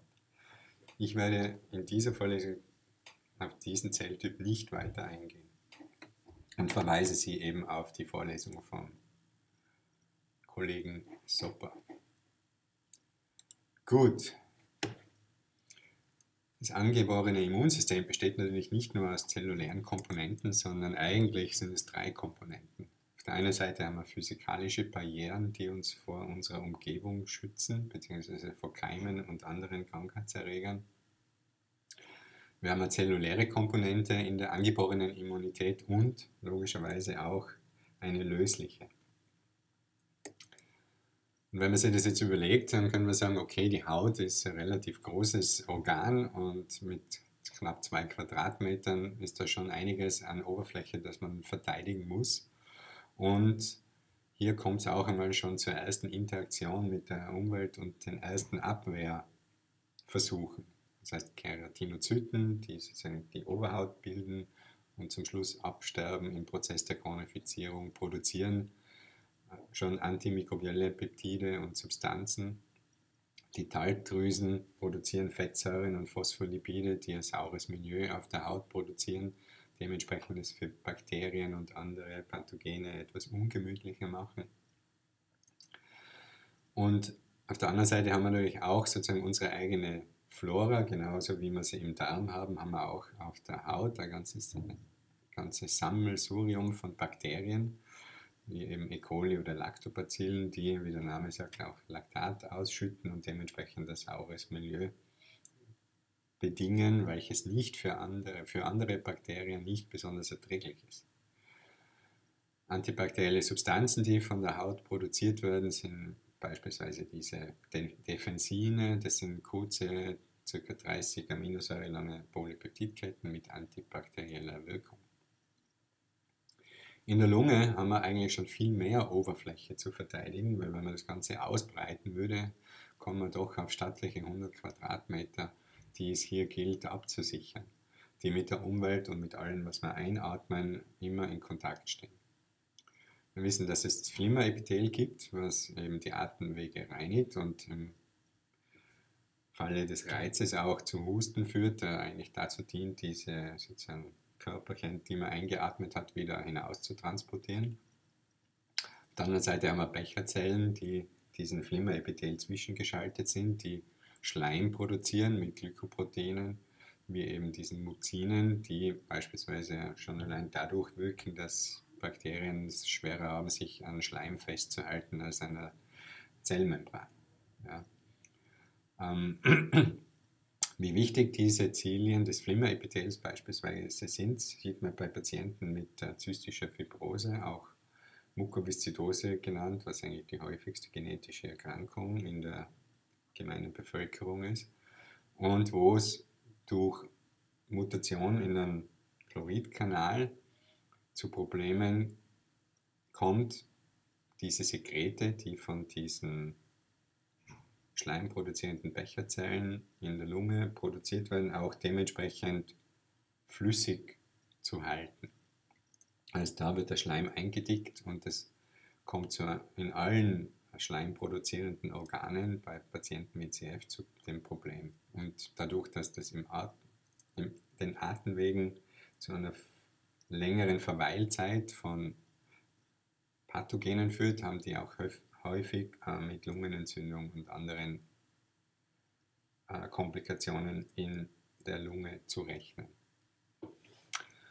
Defensine gibt es auch hier, werden von den ähm, Epithelzellen produziert, genauso wie eben diese sogenannten Surfactant-Proteine, die zum Teil dazu dienen, eindringende Keime zu dekorieren, was im Endeffekt ein Prozess ist, der als Opsonierung, Opsonisierung bekannt Der Magen-Darm-Trakt hat natürlich dann noch einmal, Gastrointestinaltrakt hat einmal noch einmal eine größere Fläche zu verteidigen. Und da sprechen wir schon einmal von 300 Quadratmetern, die hier geschützt werden müssen. Wir haben natürlich auf der einen Seite wieder Becherzellen, die Muzine produzieren und Mukus. Auf der anderen Seite haben wir durch den niedrigen pH-Wert im Magen, der schon dazu dienen sollte, viele dieser bakteriellen Erreger und an, oder Pilze oder was auch immer wir an Sporen sozusagen mit Lebensmitteln zu uns nehmen, zu äh, zerstören. Und gleichzeitig haben wir auch wieder eine ganze Reihe von antibakteriellen Proteinen und Polypeptiden, die dort zu finden sind. Und im Magen, logischerweise, gibt es ja auch verschiedene Proteasen wie Trypsin oder Pepsin, die jetzt nicht nur äh, unsere Nahrung spalten, sondern auch bakterielle Proteine zerstören können. Und mehr als 400 verschiedene Bakterienarten hat man bis jetzt im Darm nachgewiesen, die auf der einen Seite uns helfen, vor Opportunisten zu schützen, auf der anderen Seite extrem wichtig sind, auch die sozusagen Immunantwort zu kontrollieren und die Reifung von Immunzellen dort ähm, dementsprechend voranzutreiben, die man eben in diese, diesen Barrieregeweben findet. Diese Abbildung haben Sie schon mehrfach gesehen. Ich werde deshalb nur noch kurz erwähnen, dass neben den dendritischen Zellen natürlich die zelluläre Komponente Granulozyten, Makrophagen und NK-Zellen beinhaltet. NK, natürliche Killerzellen, die eigentlich aus der lymphatischen Reihe hervorgehen. Und es gibt Zwischenglieder zwischen der angeborenen und der adaptiven Immunantwort, die durch sogenannte Innate Lymphoid Cells vertreten sind. Und die werden wir ganz kurz am Rand vielleicht am Donnerstag noch einmal besprechen. Im weitesten Sinn könnte man sagen, dass das Endothel oder Megakaryzyten und Blättchen sowie Erythrozyten auch gewissen Anteil an der angeborenen Immunität haben, weil sie zum Beispiel Erythrozyten als Beispiel genannt können auch Immunglobulinkomplexe in die Milz transportieren. Ja, die haben Rezeptoren, die es erlaubt, Antikörper zu binden oder Komplementrezeptoren, die es dann erlaubt, äh, sozusagen auch im Huckepack-Prinzip Pathogene an den Ort der Erkennung zu transportieren, sprich entweder eben hauptsächlich in die Milz. Lösliche Komponenten der angeborenen Immunität, da wäre natürlich das Gerinnungs- und Fibrinolysesystem zu nennen. Warum soll das was mit der angeborenen Immunität zu tun haben? Im Endeffekt muss man sagen, ja, okay, verhindert auf der einen Seite Blutverlust im Zuge einer Verletzung, auf der anderen Seite verhindert natürlich das Gerinnungssystem auch den Transport von Pathogenen innerhalb des Blutkreislaufs. Ja, somit ist es schon etwas, was man nicht ganz außer Acht lassen sollte, dass hier schon lokal einfach die Verbreitung von Pathogenen im Blutstrom verhindert wird. Im Gerinnungssystem finden Sie Faktor 12 als initiale Komponente, die dann über Faktor 11 Thrombin und Fibrin erzeugt in, einer, in der Gerinnungskaskade, die Sie schon kennengelernt haben. Der Faktor 12 hat aber zusätzlich noch andere Funktionen und wird im Zuge von Verletzungen auch aktiviert, ist auch als Hagemann-Faktor bekannt und generiert dabei eine Kaskade von Proenzymen im Plasma, die vasoaktiv sind. Und Sie kennen vielleicht das Bradykinin-System. Bradykinin wird aus äh, Kinin generiert und Kinin existiert als Vorläufer, Kininogen und das wird wiederum durch Kallikrein von Kininogen in Kinin umgewandelt. Und das Kinin kann eben dann auch zur Bildung von Bradykinin beitragen, welches hauptsächlich für den Schmerz verantwortlich ist und damit auch zur Immobilisierung beiträgt, weil wenn etwas nach einer Verletzung furchtbar wehtut, dann wird man sich nicht großartig bewegen wollen und dementsprechend wird auch sozusagen der Blutfluss und die Verbreitung von Pathogenen dementsprechend reduziert. Weiters verhindert Bradykinin als vasoaktives Amin auch den Eintritt oder reguliert, verhindert ist falsch, reguliert den Eintritt von Serumproteinen ins Gewebe. Weitere lösliche Komponenten der angeborenen Immunität kann man in zwei Gruppen einteilen, relativ einfach, in die Substanzen, die bereits vorhanden sind und in die, die bei Bedarf produziert werden. Zu den vorhandenen Substanzen, die von Zellen der vom zellulären Anteil der angeborenen Immunität ausgeschüttet werden können, zählt beispielsweise Serotonin oder Histamin, was beispielsweise von Mastzellen freigesetzt wird. Dann haben Makrophagen und Granulozyten eine ganze Reihe von lysosomalen Enzymen, die beim Verdauen von Eindringlingen hilfreich sind. Diese lysosomalen Enzyme beinhalten beispielsweise Kollagenasen, Lysozym selbst, was eben bakterielle Zellmembranen spalten und auflösen kann, Hydrolasen oder Katepsine.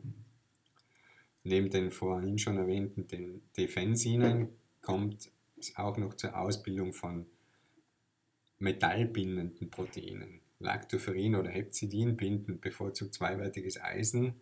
Jetzt fragt man sich, warum soll das was mit der angeborenen Immunität zu tun haben? Eisen ist extrem wichtig für das Wachstum von Bakterien und dadurch, dass das dem Körper entzogen wird, indem es gebunden wird, unterdrückt es auch sozusagen das uneingeschränkte Wachstum von Bakterien. Und Galprotektin beispielsweise bindet Zink, was auch für, für die Vermehrung von gewissen Bakterienstämmen äh, entscheidend ist. Demgegenüber stehen eben Zytokine, die erst nach Interaktion mit Antigen oder mit eben Fremd Körper oder pathogenen Material aktiviert werden und produziert werden, sind auf der einen, sind auf der einen Seite Zytokine und Chemokine sowie Interferone, die im Zuge einer antiviralen Antwort produziert werden, verstärkt, und eben Lipidmediatoren, wie eben Prostaglandine, die aus Arachnidonsäure, hier als AA abgekürzt, generiert werden und durch Zyklooxygenasen, zum Beispiel in Prostaglandin E2, umgewandelt werden. Sie wissen, dass auch die meisten nicht steroidalen antiinflammatorischen äh, Medikamente diese verabreichen, beispielsweise Aspirin, die Prostaglandinsynthese hemmt. Ja. Zu den Lipidmediatoren gehört auch noch der plättchenaktivierende Faktor, der im Endeffekt ein Phospholipid ist, was von äh, Thrombozyten ausgeschüttet wird und auch zum Recruitment von äh, Immunzellen beiträgt. Bei den Zytokinen und Chemokinen gibt es prominente Spieler, die man immer wieder finden wird. Das wäre Interleukin 1, der Tumornekrosefaktor, Interleukin 6, die sind akut, für die akuten Immunresponse verantwortlich. Interleukin 8, ja, als Lockstoff, Interleukin 12 und eben verschiedene Chemokin-Liganden, die einen Gradienten bilden, um dann Immunzellen zum Ort des Geschehens zu locken. Die Akutphase-Proteine beschreibt eigentlich eine Gruppe von ca. 40 Plasmaproteinen, die bevorzugt oder primär in der Leber gebildet werden und als erste Antwort auf Infektion Trauma oder Verletzungen bzw. Verbrennungen gebildet werden. Die sind natürlich auch Teil des großen Blutbilds und da werden Sie unterschiedliche Parameter immer wieder finden, die eben für Entzündungsreaktionen spezifisch sind. Und diese Akutphase-Proteine verändern sich im Zuge einer Infektion extrem stark und können mehr als ein Viertel, äh, um mehr als ein Viertel ansteigen oder absinken. Und bei den ansteigenden Akutphase-Proteinen, wenn besonders diagnostisch wichtig, dieses C-reaktive Protein, was im Endeffekt die Komplementkaskade aktiviert und an äh, gewisse Polysaccharide von Bakterien binden kann. Fibrinogen als Teil der Gerinnungskaskade, die Komplementfaktoren selbst. Serum Amyloid A, was beispielsweise auch inflammatorische Zellen anzieht, auf der anderen Seite für Cholesterintransport wichtig ist und diese Surfactant-Proteine. Absinkende Akutphase-Proteine wären beispielsweise Albumin und Transferin. Albumin, wissen Sie, ist für den kolloidal-osmotischen Druck im Gefäßsystem verantwortlich und Transferin ist ein eisenbindendes Protein. für den Eisentransport notwendig. So, das Komplementsystem ist sozusagen ein nicht zellulärer Bestandteil der angeborenen Immunität und kann über drei verschiedene Signalkaskaden aktiviert werden. Wir haben auf der einen Seite den klassischen Signalweg, der über Antigen-Antikörperkomplexe ausgelöst wird. Klassisch deshalb, weil er als erster beschrieben wurde. Dann gibt es diesen Manose Binding Lectin Pathway, also eine Signalkaskade, die über, bakterielle, über die Erkennung von bakteriellen Zuckerresten an der Bakterienoberfläche induziert wird und den alternativen Signalweg, der auch über die Oberfläche von Pathogenen angeregt wird. Alle diese drei Signalkaskaden führen zur Aktivierung von Komplement. Und Komplement hat im Endeffekt drei Hauptfunktionen. Auf der einen Seite kommt es zur Rekrutierung von inflammatorischen Zellen zum Herd der Infektion. Auf der anderen Seite können Komplementfaktoren Keime, Bakterien, Pilze, Viren opsonisieren, das heißt besser sichtbar machen. Und gewisse Bakterienstämme können direkt über Komplement abgetötet werden durch Zelllyse.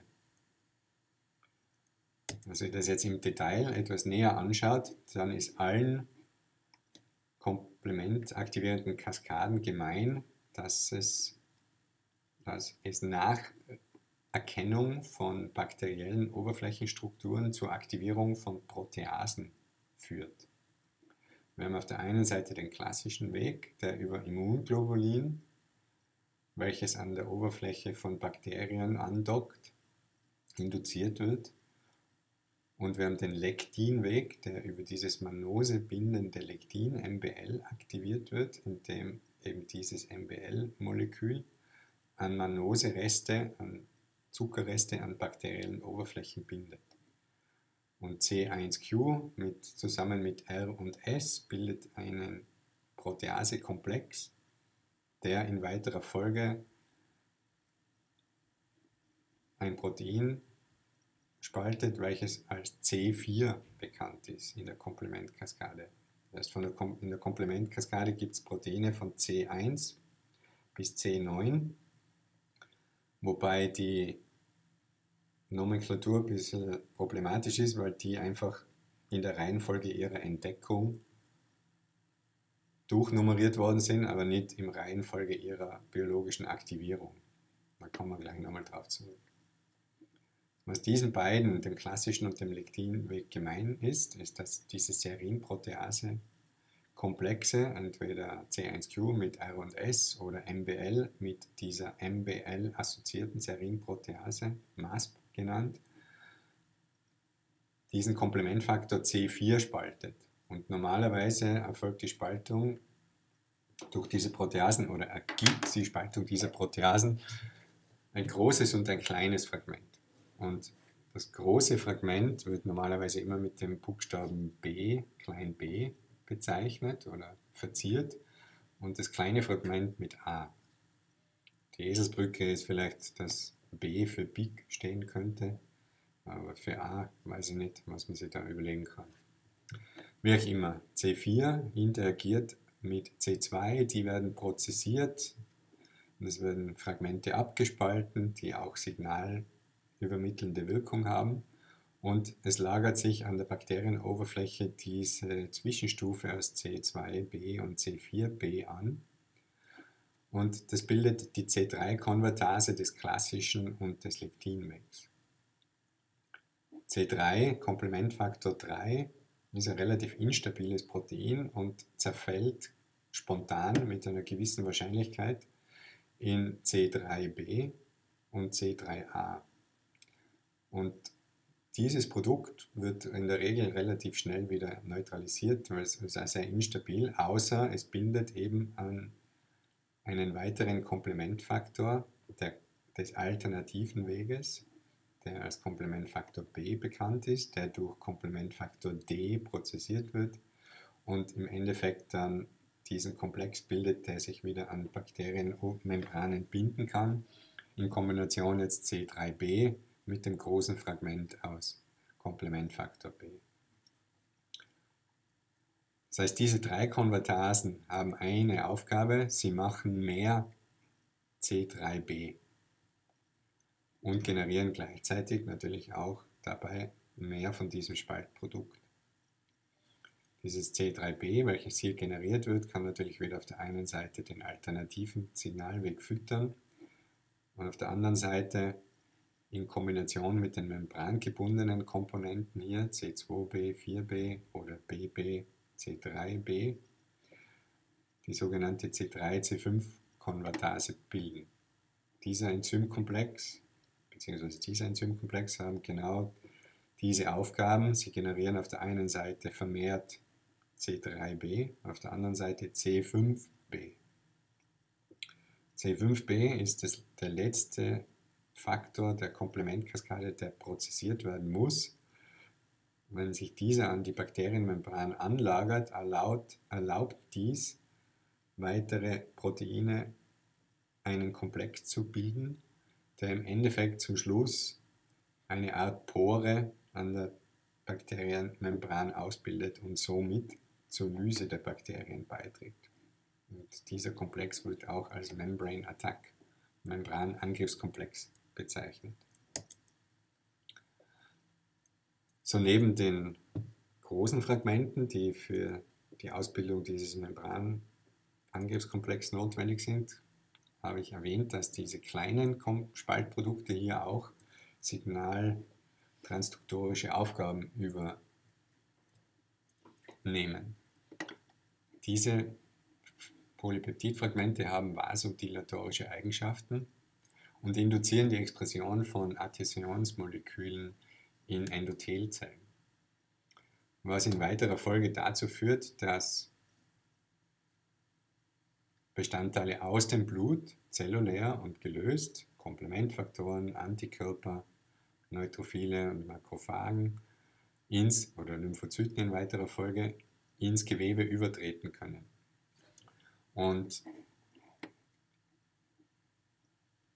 das führt auf der einen Seite zur zum gesteigerten Austritt von gelösten Faktoren, sowohl auch von zellulären Faktoren, die dann eben vermehrt diese dort befindlichen Eindringlinge phagozytieren, abbauen und auch die adaptive Immunantwort aktivieren. So, wir haben auf der einen Seite, wir haben vorhin erwähnt, es gibt drei Aufgaben des Komplementsystems. Das ist die Lyse von Bakterien über diesen Membrane Attack Komplex. Auf der anderen Seite die Opsonisierung. Und die Opsonisierung ist im Endeffekt nichts anderes als die Dekoration von bakteriellen und viralen Oberflächen mit Komplementfaktoren, die dazu beiträgt, dass diese Pathogene besser schneller und effizienter von Phagozyten aufgenommen werden können. Ja. Das heißt, wenn man jetzt hier symbolisch dieses rote Bakterium heranzieht, hier gebunden durch Manose-bindendes Lektin, dementsprechend dann auch dekoriert mit Komplementfaktor 3b, kann dieser Komplex an die Makrofagenoberfläche andocken, indem C3b mit dem Komplementrezeptor 1 interagiert. Die Interaktion alleine ist allerdings nicht ausreichend, um Phagozytose einzuleiten. Dazu braucht es ein zweites Signal, welches beispielsweise über den Komplementfaktor 5a vermittelt werden kann, weil Makrophagen haben auch einen Rezeptor an der Oberfläche für Komplementfaktor 5a und die beiden Signale zusammen steuern jetzt oder leiten jetzt die Phagozytose dieses Bakteriums ein. Was passiert weiter? In weiterer Folge wird dieses Bakterium in ein Phagosom verpackt und diese Phagosomen fusionieren beispielsweise mit Lysosomen und die haben antibakterielle Wirkstoffe. Auf der anderen Seite gibt es noch in diesen Phagosomen assoziierte Proteine, wie eben Myeloperoxidase, die Chloridionen verwendet, um aus H2O2 ähm, Hypochlorid zu generieren. Oder eben auch diese NADPH-Oxidase, die Sauerstoff aktiviert und Sauerstoffradikalbildung einleitet. Das heißt, man hat Sauerstoff, der ionisiert wird, mit Elektronen in sozusagen reaktiven Sauerstoff umgewandelt wird, der durch Superoxidismutase beispielsweise wieder in H2O2, also Wasserstoffperoxid, umgewandelt werden kann und das wiederum auf der einen Seite in Hypochlorid oder Hydroxylradikale umgeformt wird. All diese Substanzen sind hochreaktiv und toxisch und helfen Bakterien, die phagozytiert worden sind, abzutöten.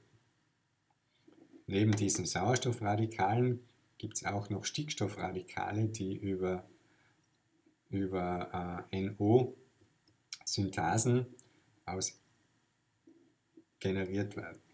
Wir wissen, dass es in Endothelzellen beispielsweise eine enzymatische Maschinerie gibt, eine endotheliale NO-Synthase, die sozusagen aus Arginin Stickstoff freisetzt und dieses NO wirkt vasodilatorisch und muskelrelaxierend, verlangsamt also den Blutstrom und erlaubt es sozusagen im Blutstrom befindlichen Zellen sich an das Endothel anzulagern und dementsprechend leichter ins Gewebe überzutreten. Auf der anderen Seite gibt es auch noch eine induzierbare NO-Synthase in Makrophagen. Die generiert auch NO aus Arginin, also Stickstoffmonoxid, weil es dann mit Sauerstoffradikalen zu Peroxynitrit weiter verstoffwechselt wird und dementsprechend auch antimikrobielle Wirkung hat. Perchlorid kennen Sie auf jeden Fall, ist in jedem Abflussreiniger drin und äh, man riecht es auch schon sehr gut. Dementsprechend kann man sich vorstellen, dass es, dass es auch eine sehr starke antimikrobielle Wirkung hat.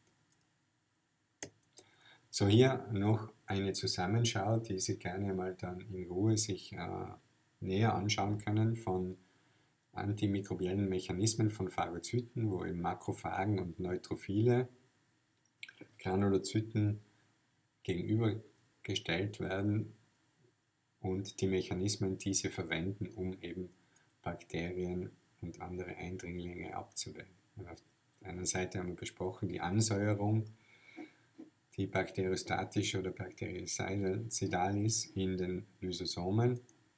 Dann diese Sauerstoff- und Stickstoffradikale, die Produktion von antimikrobiellen Peptiden, die Produktion, Bereitstellung von Enzymen, die eben bakterielle Zellwandkomponenten spalten können, wie eben Lysozym oder saure Hydrolasen wie Elastase, die zum Abbau von Mikroorganismen beiträgt. Neutrophile verwenden auch noch sozusagen kompetitorische Substanzen, die eben Eisen abfangen, was wie eben dieses Lactoferrin, was auch wieder die Expansion von Bakterien ähm, verlangsamt. Das Makrophagen und Granulozyten sind essentielle Teile der angeborenen Immunität und Makrophagen haben im Endeffekt die Aufgabe, sozusagen der First Line of Defense zu bilden. Ja. Sie sind Teil des retikuloendothelialen Systems und können entweder aus Monozyten entstehen, wenn diese ins Gewebe übertreten, aber es gibt eine ganze Reihe von residenten Gewebsmakrophagen, die schon in der frühen Embryonalentwicklung dort angelegt werden und sich dort selbst auch erneuern und regenerieren können. Ja, das heißt, man hat zwei Makrophagen-Pools, wenn man so will. Die einen sind Monozytenabkömmlinge und die anderen sind sozusagen aus der fetalen Hämatopoese abgeleitete gewebsresidente Makrophagen, wie beispielsweise auch die Kupferzellen in der Leber oder in der Niere werden die als mesangiale Makrophagen bezeichnet oder synoviale im Gelenk, äquivalent im Gehirn, die Mikroglia. Und auch Osteoklasten im Knochen sind eigentlich der Makrophagenreihe entsprungen. Wir erkennen Makrophagen Pathogene. Wir haben, einen, wir haben zuerst gesehen, die können die sozusagen über Komplementrezeptoren binden und verschlucken. Aber das alleine ist im Regelfall nicht ausreichend. Es braucht co-stimulatorische Signale und auf der anderen Seite gibt es ja auch Pathogene, die sozusagen sich der Erkennung entziehen. Und Makrophagen haben ein ganzes Arsenal von verschiedenen Molekülen an der Oberfläche oder auch in der Zelle selbst, die es erlauben, Pathogene wie Bakterien oder Pilzsporen, Pilze selber und Viren auch zu erkennen. So, wir haben auf der einen Seite diese Pattern Recognition Receptors, da gibt es eine ganze Reihe. Wir haben Komplementrezeptoren, CR1 bis 5 haben wir schon besprochen zuvor. Wir haben diese FC-Rezeptoren 1 bis 3. Und FC-Rezeptoren sind Rezeptoren, die es ermöglichen, Immunglobuline zu binden. Und zwar über diesen sogenannten FC-Teil, werden wir morgen noch näher im Detail besprechen. Das ist jetzt nicht der Teil des Immunglobulins, welches das Antigen erkennt, sondern wenn man sich ein Immunglobulin als Y vorstellt, ist es im Endeffekt der Stil dieses, y, dieses aufgestellten Ys, der über den FC-Rezeptor erkannt wird. Also Gewebsmakrophagen sind die ersten, die mit Pathogenen in Berührung kommen, wenn die es schaffen, diese äußere Barriere beispielsweise der Haut im Zuge einer Verletzung zu überwinden. Makrophagen phagozytieren Mikroben, schicken dann Zytokine und Chemokine als Botenstoffe aus. Dies erlauben auf der einen Seite im Gefäß befindlichen Blutzellen sich an die Endothelwand anzulagern, an sogenannte Adhäsionsmoleküle, die hier in Blau dargestellt werden. Und es somit diesen Zellen erlaubt, über Diapedese sich zwischen diesen Zellen durchzuzwängen und ins Gewebe überzutreten.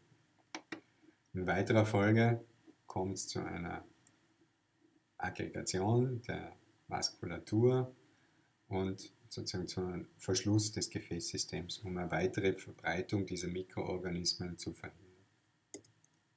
So Makrophagen binden ein ganzes Arsenal von verschiedenen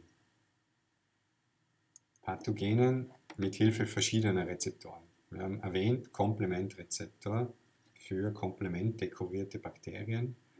Makrophagen erkennen auch Lipide, oxidierte Lipide beispielsweise von bakteriellen Oberflächen, aber auch von eigenen Zelloberflächen. Diese sogenannten Scavenger-Rezeptoren dienen oft der, hauptsächlich der Erkennung von alternden Erythrozyten und deren Aufnahme und Abbau. Dektine sind hauptsächlich für die Erkennung von ähm, Pilz- Oberflächen verantwortlich und für die Phagozytose von Pilzsporen, beispielsweise Hefe. Ja. Wie vorab erwähnt, kommt es nach Bindung zur Phagozytose und das Phagosom fusioniert mit dem Lysosom, um den Abbau der Inhaltsstoffe zu beschleunigen.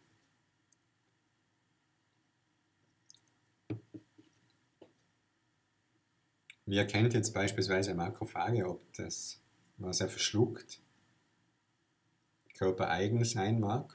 Könnte eine abgestorbene Zelle sein oder wirklich ein Fremdkörper bzw. ein Bakterium.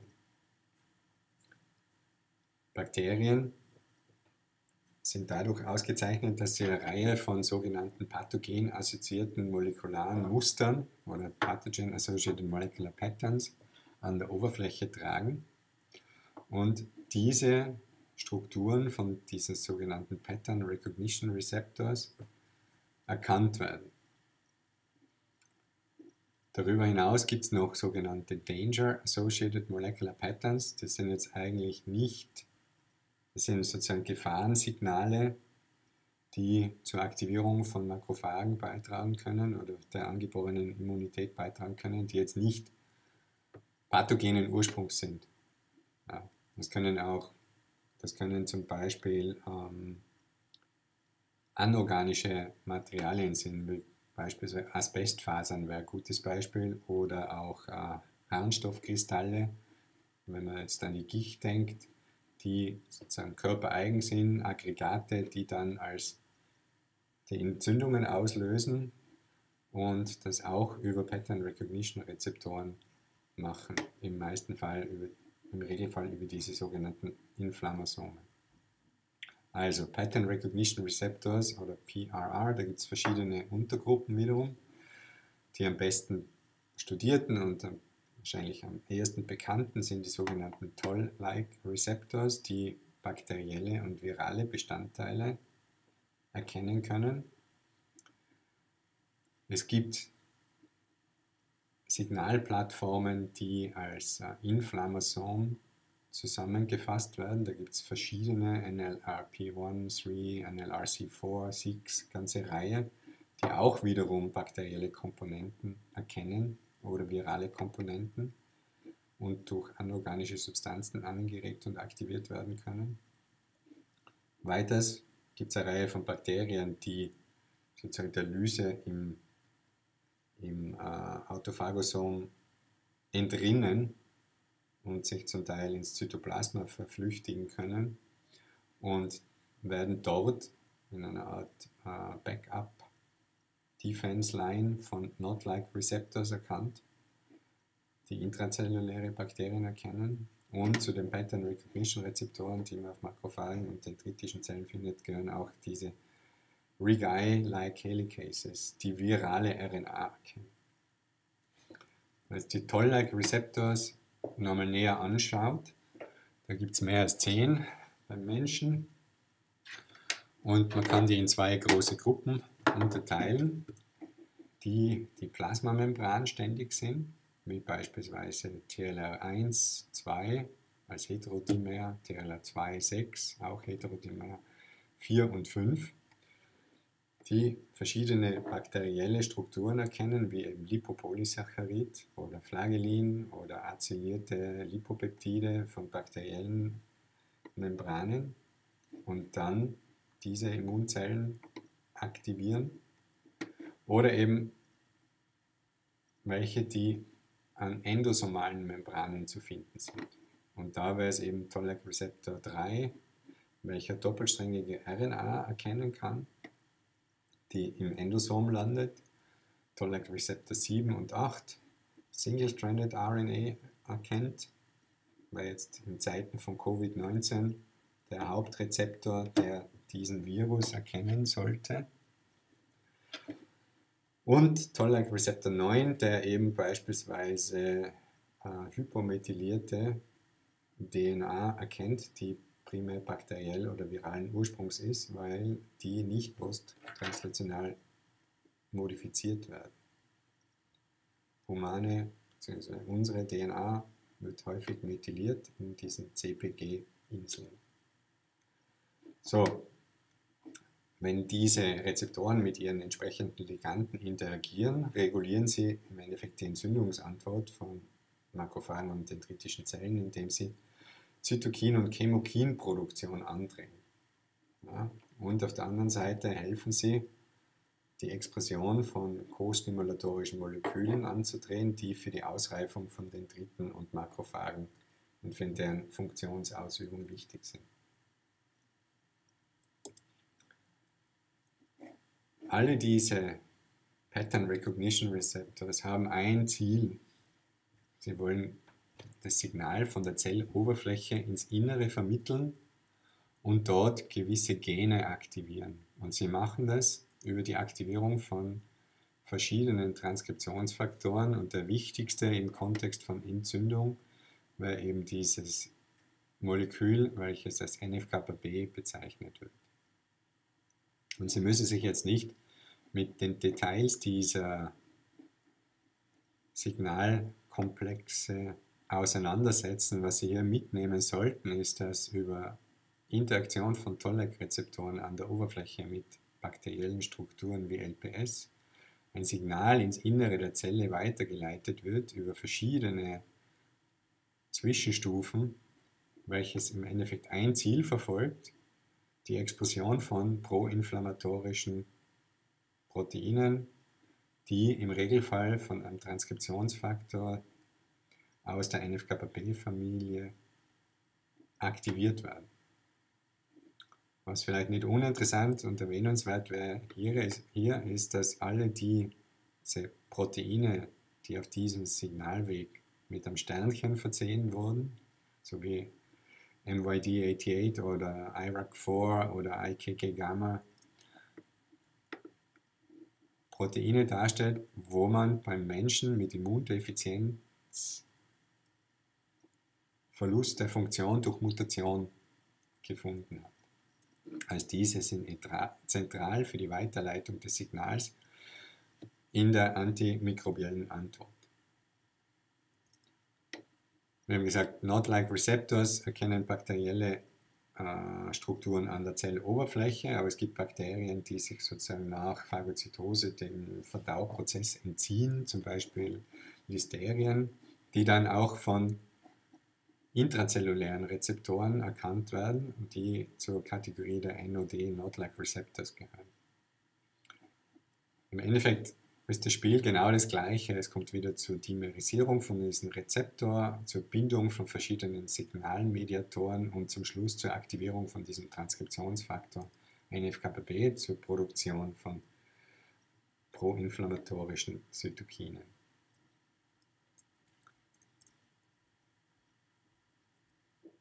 Eine andere Form der Entzündungsantwort ist, ist die Freisetzung und Produktion und Freisetzung von Interleukin 1.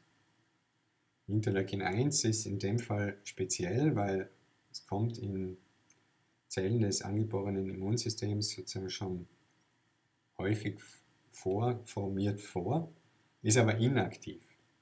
Und um Interleukin 1 sowohl als auch Interleukin 18 zu aktivieren, muss eine Protease aktiviert werden, die sozusagen den, Inhibit, den N-Terminus abspaltet, um ein aktives Peptid, Peptid zu generieren. Und diese Protease ist eine, gehört zur Familie der Caspasen. Sie haben vielleicht in der Zellbiologie-Vorlesung oder anderswo von Caspasen im Kontext von Zelltod gehört. Caspase 1 hat eine besondere Funktion, es auf der einen Seite als Antwort auf Interaktion mit Pathogenen in einem Komplex, der als Inflammasom bezeichnet wird, aktiviert wird und dann Interleukin 1 Beta und Interleukin 18 prozessiert und freisetzt. Und Interleukin 1 ist beispielsweise zentral für die Entzündungsreaktion und für, den, für die Aktivierung im Hypothalamus, damit die Körpertemperatur nach oben geht. Was da eine ganz interessante Nebenerscheinung ist, dass diese Freisetzung von Interleukin 1 Beta und IL-18 im Regelfall gleichzeitig mit dem Tod der infizierten Zelle einhergeht. Und das ist ein Zelltod, der, nachdem er inflammatorisch ist, auch als Pyroptose bezeichnet wird. Das heißt, Caspase 1 macht Pyroptose, um Interleukin 1 nach seiner Prozessierung auch radikal schnell freizusetzen und ein Zündungssignal zu vermitteln, zu zeigen, da gibt es ein Problem, Alarm, wir müssen Immunzellen aktivieren und hierher rekrutieren. Virale Nukleinsäuren, beispielsweise wissen wir, dass es ja einige virale RNAs RNA-Viren gibt, einzel- oder doppelsträngig. In dem Fall doppelsträngige RNA kann auf der einen Seite über Toll-like Receptor 3 im Endosom erkannt werden, wohingegen doppelsträngige RNA im Zytosol über andere Moleküle NDF5 und RIG-I erkannt werden. Was beiden gemein ist, ist, dass als Konsequenz darauf hin verschiedene Transkriptionsfaktoren IRF, Interferon Responsive Factor 3 und 7, aktiviert werden, in den Zellkern gehen, die mal zuerst Interferon produzieren. Und Sie wissen, Interferon ist antiviral und ist auch ein Zytokin, welches sozusagen umliegenden Zellen signalisiert, eine unserer Zellen, hier wurde eine Zelle mit einem Virus infiziert, bereitet euch darauf vor, ein Virus ist im System und ihr müsst sozusagen eure Abwehrmechanismen hochfahren. Viren können natürlich auch doppelsträngige DNA beinhalten und das wird wieder über andere Maschinerie erkannt. Und zwar ist das eine relativ rezent erst entdeckte Signalkaskade, die doppelsträngige DNA im Zytosol erkennt und damit Interferonproduktion antreibt, indem es wieder diese Transkriptionsfaktoren RF3 und 7 aktiviert. Und ich finde, das ist persönlich ein relativ interessantes System, wie das funktioniert, weil im Endeffekt wird der Virus, der aufgenommen wird und seine doppelsträngige DNA im Zytoplasma kopieren will, wird durch dieses Molekül C-Gas, C-Gas erkannt, das erkennt und bindet DNA unabhängig von der Sequenz. Also ist egal, was für Nukleotidsequenz da drinnen ist, es muss nur eine gewisse Länge überschreiten. Und das führt dazu, dass ATP und GTP in einen, sozusagen in einen Second Messenger umgewandelt werden, in ein zyklisches CGAMP. Und dieses zyklische Konstrukt wiederum, was in ähnlicher Form auch von Bakterien als Second Messenger produziert werden kann, aktiviert ähm, ein Enzym, ein Enzym in welches im endoplasmatischen Retikulum sitzt und in weiterer Folge wiederum die Aktivierung von IRF3, aber auch von NF-κB erlaubt, um an diese antiinflammatorischen und proinflammatorischen Moleküle zu generieren. So, nachdem ich jetzt lang mit Signaltransduktion geplagt habe, ich in den letzten fünf Minuten noch ganz kurz darüber gehen, was ähm, was die Konsequenz dieser der Produktion von inflammatorischen Zytokinen ist. Wie gesagt, auf der einen Seite können Interferone produziert werden, auf der anderen Seite proinflammatorische Zytokine. Und da sind besonders erwähnenswert auf der einen Seite Interleukin 1 Beta, TNF-Alpha, Interleukin 6, CXCL8, ein Chemokin und Interleukin 12. So Interleukin 12 hat die Fähigkeit, natürliche Killerzellen zu aktivieren. Das wäre beispielsweise wichtig in der, äh, auch in der antiviralen Abwehr. Und Helfer T-Zellen in der Reifung zu unterstützen. Wenn wir uns morgen noch näher darüber unterhalten. Zusätzlich dazu kann CXCL8 als Recruitment-Faktor Neutrophile und basophile Granulozyten an den Ort des Geschehens locken und auch sozusagen chemotaktisch auf T-Zellen einwirken. Das sind alles lokale Effekte. Ja. Interleukin 6 aktiviert Lymphozyten und unterstützt B-Zellen, Plasmazellen bei der Sekretion von Antikörper. TNF hat eine ganze Reihe von Funktionen, aber zusammengefasst kann man sagen, dass es das Endothel erweitert, die Gefäßpermeabilität erhöht, dementsprechend auch sozusagen den Austritt von gelösten Substanzen aus dem Plasma ins Gewebe, wie Komplementfaktoren, Immunglobulin etc. erleichtert und auch dann sozusagen den Lymphfluss fördert und dementsprechend auch die Abfuhr von Pathogenen, jetzt beispielsweise nachdem sie von Makrophagen oder Dendriten aufgenommen wurden, in den nächstgelegenen Lymphen, Lymphknoten beschleunigt. Interleukin 1 aktiviert auch das Gefäßendothel, erweitert es, aktiviert Lymphozyten, hat eben auch eine gewisse destruktive Rolle, die proinflammatorisch ist und so auch weiter mehr vielleicht auf der einen Seite das Eindringen von Immunzellen erleichtert, auf der anderen Seite auch mehr Immunzellen anlockt über diesen Pyroptose-Mechanismus. Systemisch gesehen passiert folgendes, dass TNF, Interleukin 1 und IL-6 zur Fiebergeneration beitragen. Interleukin 1 wiederum in einer Art Feed-Forward-Loop die Produktion von Interleukin 6 in der Leber anregt. TNF, eine allgemeine Mobilisierung des Stoffwechsels, den Stoffwechsel nach oben treibt. Das kann massive Folgen haben, wenn TNF systemisch ausgeschüttet wird. Und Interleukin 6 auch wieder in der Leber die Produktion von äh, Akutphaseproteinen von, in Hepatozyten anregt. Das heißt, wir haben, wie gesagt, in weiterer Folge kommt es zur Ausschüttung und Produktion von Akutphaseproteinen in der Leber. Da sind Komplementfaktoren dabei, C-reaktives Protein, Manose-Binding-Lectin, um eben auch die Opsonisierung zu fördern. Dann wird im Endothel und im Knochenmark neutrophile Mobilisierung großgeschrieben.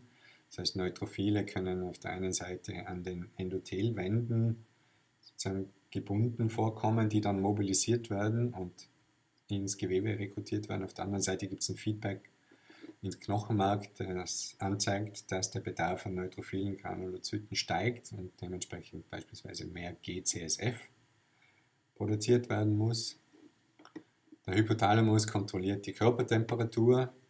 Erhöhte Körpertemperatur und erhöhter Stoffwechselumsatz erlaubt natürlich dann auch auf der einen Seite die virale und bakterielle Replikation zu verringern, nachdem sie Bakterien und, äh, und Viren bei höheren Temperaturen nicht besonders wohlführen, ist das auch etwas, was aktiv dazu beiträgt, den Prozess der Entzündung zu verlangsamen oder die Verbreitung zu verlangsamen.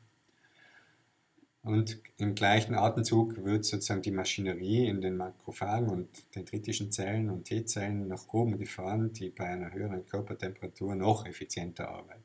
Ja? Und dementsprechend auch Antigenprozessierung und die Aktivierung der adaptiven Immunität schneller und besser vonstatten geht.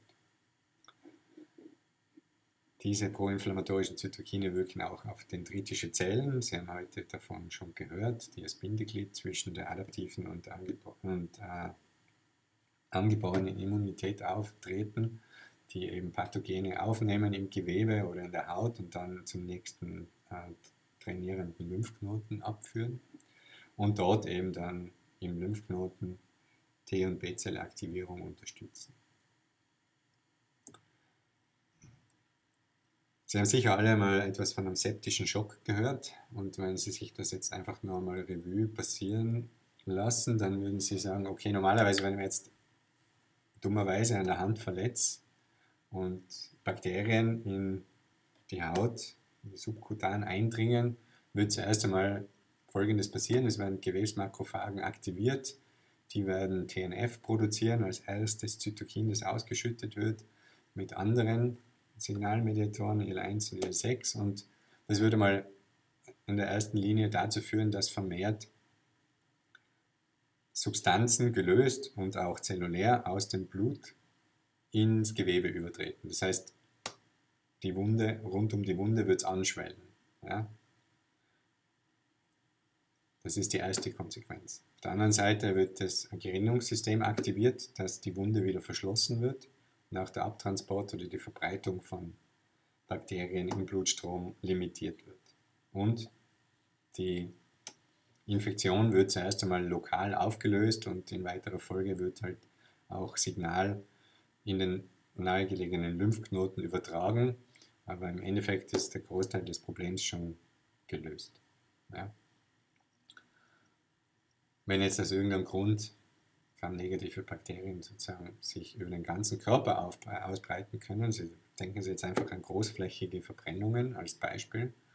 Dann wird es kritisch, weil dann kommt es dazu, dass Makrophagen jetzt nicht nur im, lokal im Gewebe TNF produzieren, sondern eben auch Bakterien aufnehmen oder sehen in ihrem natürlichen Umfeld, wie beispielsweise in der Leber, und dann oder in der Milz und plötzlich in großen Mengen TNF-Alpha freigesetzt wird und über den Blutstrom verteilt wird.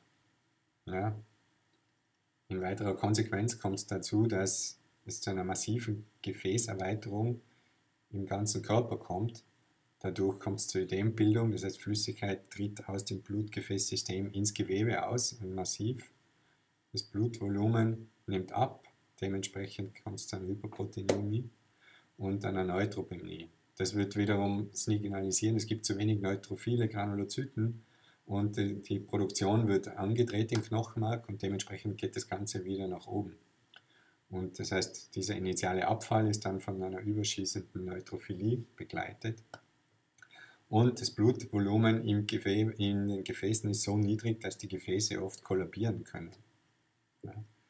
Wenn es dann noch in weiterer Folge zu einer intravaskulären Koagulation kommt auf breiter Ebene, kommt es eben zum Organversagen und wenn alle Stricke reißen, leider auch zum Tod des Patienten.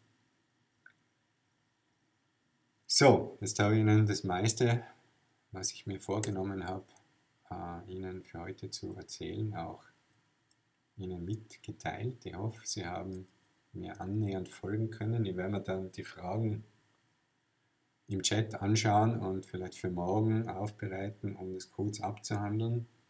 Wie erwähnt, wird die ganze Vorlesung online abrufbar bleiben und äh, ich sehe Sie dann hoffentlich morgen um 14 Uhr für die Fortsetzung, wo wir uns über die adaptive Immunantwort näher unterhalten werden. Vielen Dank für Ihre Aufmerksamkeit heute.